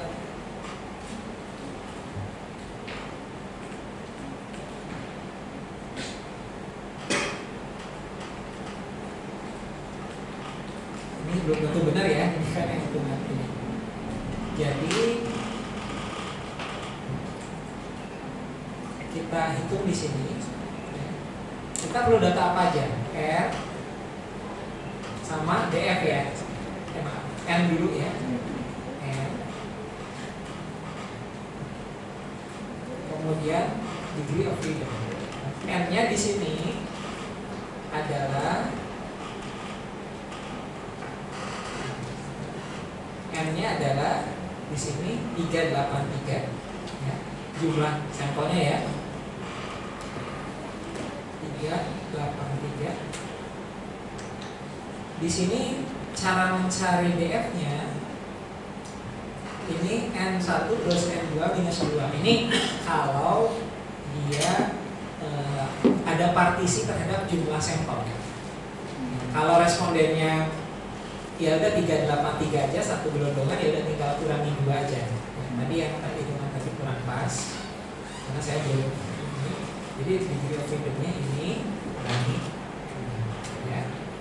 Nah kemudian ini R itu tadi ya kita depannya minusnya dulu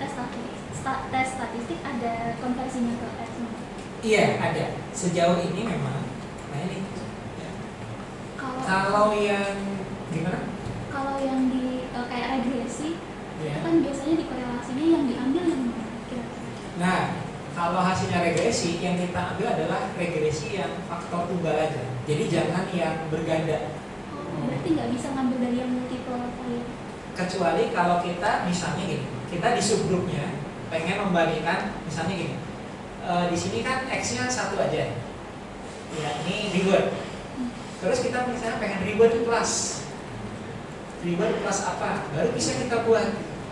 Jadi nanti pengembangan database suka-suka kita.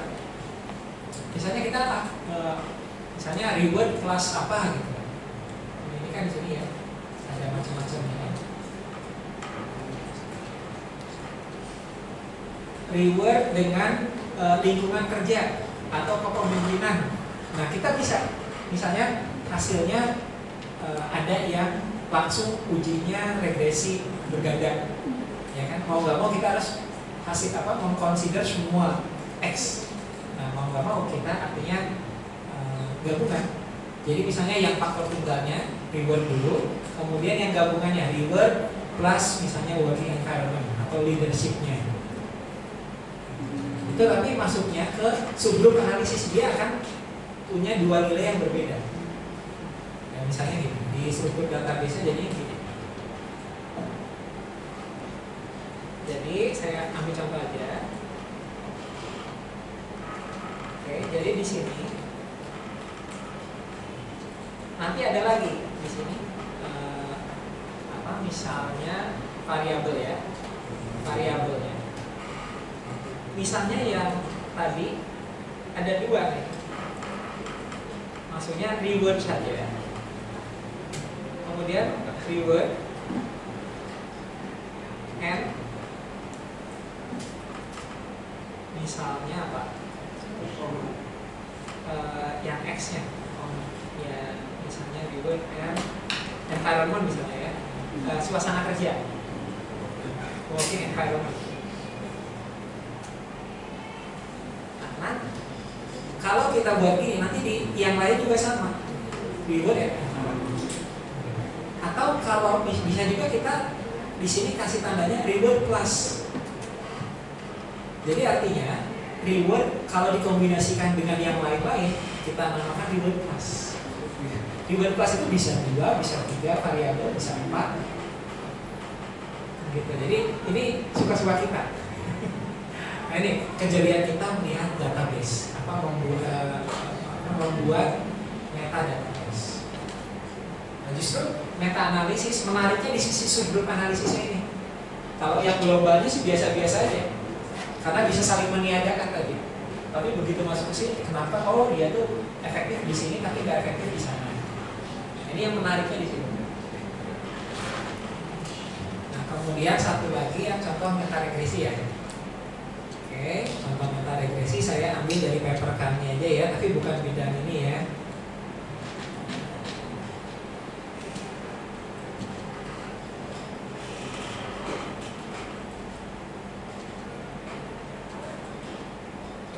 Siapa ya? Oke, yang saya aja lah. Yang saya first author aja. Iya, gampang.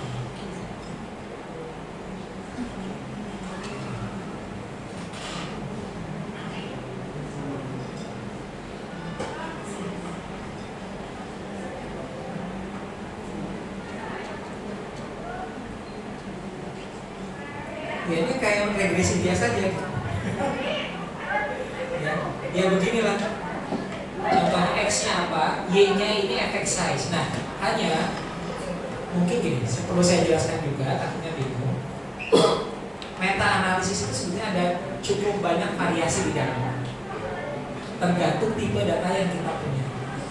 Kalau ini meta analisisnya bukan yang konvensional, tapi pakai mix model. Tergantung tipe data.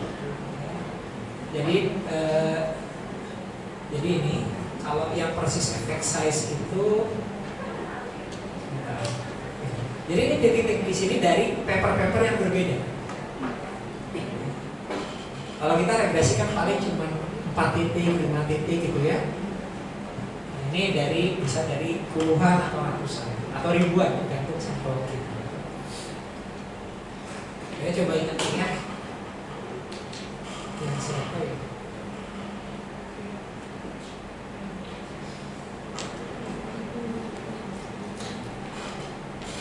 lupa orang-orang. Eh, Karena dipaksa harus cepat makanya kadang nggak dapat. Tapi kalau lagi sendiri udah juga. Oke, si Freddy aja. Freddy kapan gitu.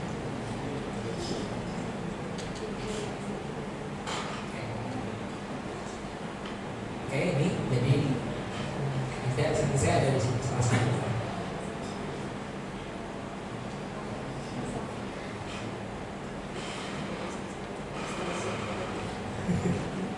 Makanya lumayan buat meta analisis. Nah, saya lupa naruh ini apa ya. Nah, ini. Nah, contohnya gini ya. Ya, Simpel aja sih. Ini malah termasuk yang kurang bagus contohnya karena sampelnya sedikit. Ini coba kita lihat. Jadi ini efek size, ini moderator variabel. Tapi yang kuantitatif di sini adalah resistance starch atau uh, pati resisten. Kalau manusia itu pengen makan enak tapi nggak tambah gemukan gitu. Pengen makan enak tapi nggak diabetes. Maka yang berkembang itu sekarang gimana membuat makanan yang tinggi pati resistennya. Jadi jadi saya banyak belajar dari ini ya kalau membimbing S2 makan atau S2 mana ya yang pakai meta analisis. Nah ini jadi untuk kalau e, makanan yang peluang diabetesnya rendah, ini kalau untuk umur segini mungkin nggak nggak kepikiran, tapi udah umur saya ke atas kepikiran ya bro ya. Nah itu ada tiga komponen pangan yang e, apa memiliki apa, yang berhubungan negatif dengan diabetes. Pertama, yang biasanya orang kenal adalah serat, serat pangan, dietary fiber. Itu yang orang lain pahami. Nah, lewat meta analisis ini kita mengidentifikasi ada dua komponen lain yang lebih berpengaruh. Yang kedua adalah resistance starching. Jadi pati resisten. Yang nomor pertama, ini yang gak banyak bisa dari orang, makanya paper ini cukup banyak citasinya. C1, disebut MBTI ya, adalah polifenol kandungan polifenol di makanan. Jadi adanya komponen bioaktif. Polifenol itu tanin, e, tahu teh ya. Nah, teh itu yang sepot-sepot itu bagus untuk e, rendah indeks glikemia, rendah potensi diabetes. Tapi bukan teh manis. itu balik lagi. Jadi makanya saya nggak tahu ya. E, secara epidemiologi jangan-jangan daerah wilayah Jawa Tengah, Jawa Timur itu prevalensi diabetes tinggi karena kalau minum teh ya ya tiga sendok itu kalau teh nggak manis itu nggak menghormati ya tapi kalau di Sunda defaultnya teh itu pasti tawar. Jangan-jangan di Sunda ya ya, prevalensi diabetesnya rendah ini untuk tunjukin ini contoh yang kurang bagus karena datanya spread ya ya tapi beginilah contohnya ini efek size ini uh, moderator variabel. Nah, kenapa ada titik yang besar, titik kecil? Itu jumlah sampelnya. Ya, jadi tadi kan terboboti. Prinsipnya terboboti, cuma ada algoritma yang berbeda. Jadi ketika buat global integrasi size global, subgroup analisis, meta regresi ini yang namanya pembobotan itu selalu bermain. Ini ini yang sampel size yang besar, ini yang kecil. Gampang ini. Semoga menjawab ya. Apa bisa untuk jadi berkontribusi dalam mencari faktor-faktor penyebab penyakit Kayak ibarat apa dari jalan-jalan Islam. Iya. Eh, Baik, Bapak cukup cukup. Karena sudah asal mungkin saya buka, tapi mungkin sedikit saja ya kalau masih ada mau tanya. Masih ada. Mungkin saya kasih dari FPN dulu ya. Tadi SR sudah. Silakan eh, dari FPN dulu.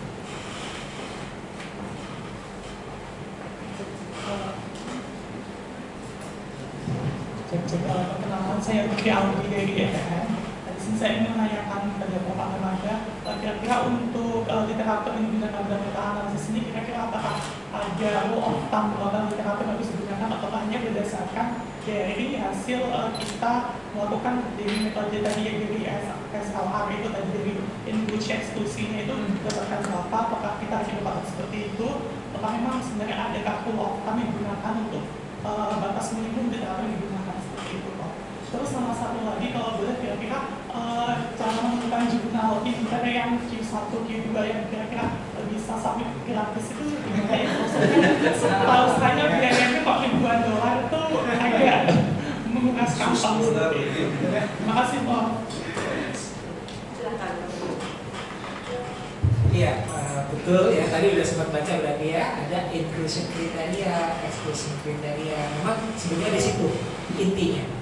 Jadi bagaimana kita nih dapat katakan tadi 300 paper ya. Kemudian kita seleksi apa inclusion kriteria atau exclusionnya. Jadi gimana cara kita menginclude suatu artikel atau sebaliknya di sisi yang lain kenapa di exclude. Nah, di situ memang ketika bicara inclusion exclusion kriteria itu bergantung pada expertise. Contoh, misalnya ketika saya mengamat, kami mengamati hubungan tanin, ya, tanin, tadi tag lah ya, namanya. tanin gambaran tanin dengan diabetes, oke.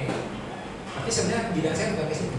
Tanin dengan emisi gas metana dari ternak, terlalu kompleks ya. Nah, kalau di taninnya itu ada komponen lain yang bisa mendeaktivasi jadi eksklusif kriteria misalnya di perlakuannya tanin plus senyawa tertentu yang bisa meningkat tanin misalnya polyethylene glikol atau polyphenol polypyrrolidone ini terlalu teknis mohon maaf. Kalau itu ada saya nggak masukin paper itu. Kenapa? Karena taninnya jadi nggak aktif. Jadi afinitas tanin dengan komponen sintetis tadi itu lebih besar ketimbang tanin dengan protein atau tanin dengan makromolekular ini udah tidak mau food science, food science, maaf ya. Tapi intinya eh, mana-mana paper yang dimasukkan, mana-mana yang enggak itu mau nggak mau pengaruh dari expertise. Maka di situ eh, nanti konsultasi ke pembimbing di sisi. Karena kan kita nih baru nih, Prof kalau ini Pak Bu, Prof ini masuknya atau enggak ya? Saya bingung. Nah, itu mau nggak mau memang berkaitan dengan expertise seseorang. Ya. Eh, di samping eh, ini ada juga yang dan itu beda-beda. Ada yang bilang ada yang eh, masukin ke database-nya hanya Q1, Q2 atau hanya terindeks fokus atau sebaliknya hanya nasional. Nah, itu ma- masing-masing sesuai dengan tujuan. Jadi memang nggak nggak ada rule of thumb yang spesial ya. Memang ada katakanlah prisma, gitu ya, tapi itu masih general banget. Oke. Nah, kemudian kalau ini udah masuk ke tips and trick ya. Seringkali ketika kita melakukan meta analisis terjebak pada satu atau dua apa dua di antara situasi. Pertama, papernya kebanyakan. Kalau papernya kebanyakan pusing. Yang kedua, misalnya di atas 100. Yang kedua papernya terlalu sedikit di bawah 10 misalnya. Itu pusing juga. Gak cukup. Nah ini tipsnya biasanya kalau paper yang terlalu sedikit saya perbesar coverage misalnya. Tadinya pengen ngamati padi doang, padi saja ya. Kalau padi cuma datanya terkait dengan riset yang kita lakukan ya, XY-nya tadi cuma dapat 7 misalnya. Berarti kita perluas coverage-nya. Oke, XY yang sama tapi bukan hanya padi. Misalnya serealia. Di situ ada sorghum, ada barley, ada gandum. Nanti masing-masing di situ menjadi subgroup analisis. Tapi globalnya kan udah banyak. Misalnya oh paper totalnya ada 25. Nanti padi, gandum, sorghum itu jadi subgroupnya. Itu kalau situasinya terlalu sedikit. Kalau kebanyakan sebaliknya, maka kita persempit. Misalnya eh, tadinya masih padi nih, tapi kebanyakan. Nah sekarang apa nih sub dari padi itu? Misalnya oke kita fokusnya pada padi eh, yang standing water aja bukan padi tergenang misalnya, atau dari wilayah tertentu. Karena terlalu banyak. Terlalu banyak. Jadi kira-kira e, paling aman itu papernya ya paling umum tadi antara 20 sampai 50 ya. Tapi kalau sampai 100 oke. Kalau 100 kita gampang di accept di jurnal. Tadi yang pertanyaan kedua ya yang ke situ ya. Siapa ya? Irawan misalnya ini bukan hanya saya tapi bersama bimbingan-bimbingan ya. Ini yang Q1 gratis kan? Banyak juga sih. Termasuk ini. Termasuk ini tapi sekali lagi ini bidang ilmunya ya sangat teknikal ya. oke ini sangat teknikal. Ini Q1 tidak bayar sepeser pun ya. Nah, kemudian ini dari ini udah kita gabungkan dengan teknik analisis lainnya dengan uh, misalnya heat map two dimensional cluster analysis. Jadi jadi meta analisis itu bisa digabungkan dengan analisis analisis lain bisa dengan multivariate statistik. Oke. Okay. uh, kenapa? Ini saya pengen tunjukin dulu jumlah papernya ya. Ini berapa? Angkanya? 9 97 paper ya? 97 paper nah, ini berkorelasi dengan ini. Ini Q1 loh dan gratis ya. Submit 9 Desember accepted 8 Februari. Dua bulan ya. Kenapa jurnal senang meta analisis sobat? Ada yang bisa kan?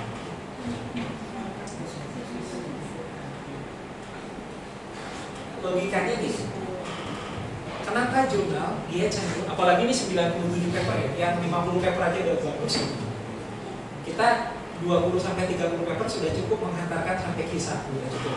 Di pengalaman kami. Apalagi 97 nih 97 makanya penulisnya banyak karena kita nggak bagi tugas. Kayak kamu uh, 10 paper pertama 20 jadi sering kali kolaborasinya gitu. Nah kenapa ini apa jurnal senang meta analisis jurnal itu reputasi jurnal ini bicara direktorat hasil akademik reputasi jurnal itu indeksnya apa coba misalnya oh jurnal tuh bagus penggambarnya si presi ya jadi indeks jurnal itu utamanya impact factor kalau sistemnya Thomson uh, Clarivate Analytics atau Thomson atau Web Science atau SJR Simago Jurnal nilai SJR nya itu yang dari Simago nah, basis dari itu semua itu algoritmanya beda cara ngitungnya beda. Cuma intinya basisnya adalah citasi nah meta analisis itu mendatangkan banyak citasi artinya kenapa jurnal senang karena akan mendobrak reputasi dia. Kalau jurnal Q3 dapat meta analisis dia dapat durian runtuh keterlaluan kalau Q3 dapat meta analisis istilahnya kagak ngerti. gitu si editornya kagak ngerti nah, jadi eh, cenderung begini nah, saya diminta Pak Rektor PWR bersandingkan meta analisis ke berbagai unit karena IPB untuk bisa bertahan terus di 500 besar atau bahkan masuk 400 besar kekurangan terbesarnya adalah sitasi dan untuk sitasi ini kita perlu tools yang ya tadi analisis, systematic review, review biasa, analisis bibliometrik. Ini di- diminta something. Mungkin itu ya. Jadi kejawab ya. Jadi banyak. Cuma memang setiap bidang itu harus bisa mengidentifikasi. Memang kita harus apa sih? Harus sering-sering shopping, jurnal shopping ya. Lihat, oh jurnal ini saya nggak tahu ada kayak buat database per bidang dulu ya per departemen gitu misalnya departemen membuat nih list jurnal-jurnal yang bagus dan gratis. Kayaknya tuh bisa minta ke departemen tuh. Tidak. Karena saya nggak bisa ngomong nih kalau untuk bidang eh, ekonomi apa. Tapi kalau untuk bidang peternakan saya bisa bisa langsung kebayang sekarang juga oh jurnal ini ini ini ini ya bagus tapi gratis atau setidaknya murah. Gitu kira-kira. Bagus. Baik, terima kasih Pak Kolada. Mungkin kita sudah di tiga tiga puluh ya. Ini satu lagi boleh yang mau tanya? Satu pertanyaan, satu pertanyaan yang terakhir ya. Karena kita harus ada closing. Halo, Selamat sore, Prof. Anu. Um, terima kasih Prof atas penjelasannya.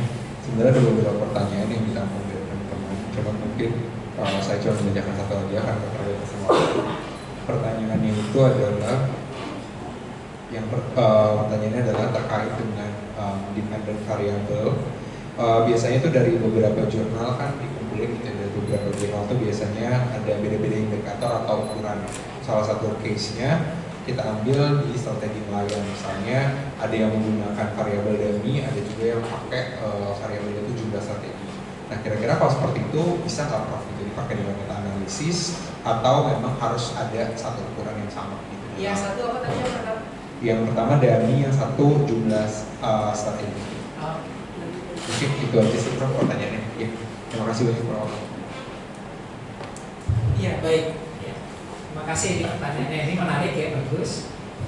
Jadi dalam meta analisis yang saya eh, sadari ya, ketika saya belajar social science masuk education itu adalah cara ngukurnya itu beda-beda. Itu beda dengan IPA. Kalau di bidang IPA ngukur amonia ya emang gitu caranya.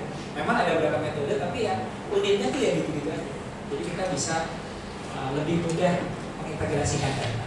Kalau di social science untuk mengukur contoh ya di bidang kami untuk mengukur religiusitas itu ada lebih dari 20 metode masing-masing punya indikator atau items items dimensinya beda itemsnya beda itu jadi menjadi problema tersendiri. Tapi tapi nah, kalau kita merasa ini juga expert, expert judgment ya. Kalau kita berpikir bahwa ini dua variabel ini ini satu sebetulnya. Kayak tadi reward compensation program HMB practice itu sebenarnya satu. Bilang hal yang sama. Ngomong reward juga. Nah, itu kita bisa kita bisa gabungkan. Ya, kita bisa gabungkan. Nah, jadi eh, nah apakah bisa digabungkan atau tidak? Memang kita perlu konsultasi dulu. Nih tergantung nih variabelnya ya. Saya juga kurang kurang apa bukan expert di sini. Misalnya antara dua hal itu digabungkan oke enggak memang rasanya pembimbing kita itu satu nafas atau enggak gitu. Ya satu hal yang sama atau enggak. Kalau yang saya bayangkan misalnya nih eh, misalnya kalau karena kalau kita kalau kita pengen spesifik per variabel misalnya apa adanya jangan-jangan jumlah papernya nggak mencukupi. Misalnya apa tadi strategi. Strategi nelayan. strategi nelayan. Jangan-jangan di paper lain nggak ada yang ngomongin strategi nelayan. Jadi sebenarnya strategi nelayan itu cocoknya variabel apa sih yang dia sama? Atau ngomongin hal yang sama di paper lain. Karena kita akan mengintegrasikan paper-paper kalau kita ngikut variabelnya sama semua maksudnya sama persis dengan yang setiap paper bilang jangan-jangan nggak ada yang ketemu nah ini memang challenge di social science ya. Nah, misalnya kalau yang saya ini ya, eh, misalnya ini ada ekonomi syariah ya. Ada ya. Karena belum ada S2 nya ya. Oke, contohnya gini, zakat. Zakat itu ngukurnya beda-beda tuh. Minat berzakat, keputusan berzakat, ya, eh, apa namanya macam-macam. Ya, ketika bicara eh, zakat dalam konteks cara mengukurnya, ya kan? Nah, sekarang gimana kita bisa mengintegrasikan itu semua? Nah, misalnya kita membuat suatu, bisa aja kita membuat suatu uh, variabel katakanlah yang bisa menjadi umbrella bagi terminologi yang berbeda tadi. Misalnya uh, atau di yang saya lakukan ya. Misalnya yang uh, apa religiusitas ada yang ukur minat berzakat, ada yang ukur eh, apa misalnya keinginan sholat tepat waktu, ada yang ukur apa eh, apa keinginan berinfak, sodako, itu kan beda-beda ya. Kalau kita masing-masing nanti nggak ketemu jumlah papernya terlalu spesifik ya. Nah, saya akhirnya misalnya saya buatlah variabel umbrella keinginan berbuat baik. Itu kan berbuat baik, berzakat, bersedekah, sholat, gitu ya. Itu dalam ketika kita jumlah papernya untuk variabel tersebut nggak ketemu terlalu terlalu spesifik. Kita bisa buat, nah tinggal nanti di metodologi kita jelasin nih eh, bahwa variabel ini ini ini dikombinasikan menjadi variabel umbrella, variabel payung ini dikarenakan limited numbers of papers. Kira-kira gitu ya. Ini dari pengalaman kami itu sering kali di, di sosial saya saya kan uniquenessnya di. Ya masing masing untuk mengukur hal yang sama itu alat ukurnya beda-beda. Yang luar biasa. Dan terminologinya beda juga. Ya gitu ya. Baik, eh, saya cukupkan ya teman-teman. Eh, Ya selesai. Baik, eh, saya cukupkan untuk sesi diskusi karena kita juga terbatas waktu ya dan juga eh, mungkin ada kegiatan lain di sore hari. Eh, saya ingin mengucapkan terima kasih eh, banyak kepada Bapak Lembaga ya untuk eh, ilmu yang diberikan ya kepada kami tentunya sangat bermanfaat dan juga memotivasi teman-teman ini untuk tugas akhirnya. Di penghujung acara ya eh, sebagai eh,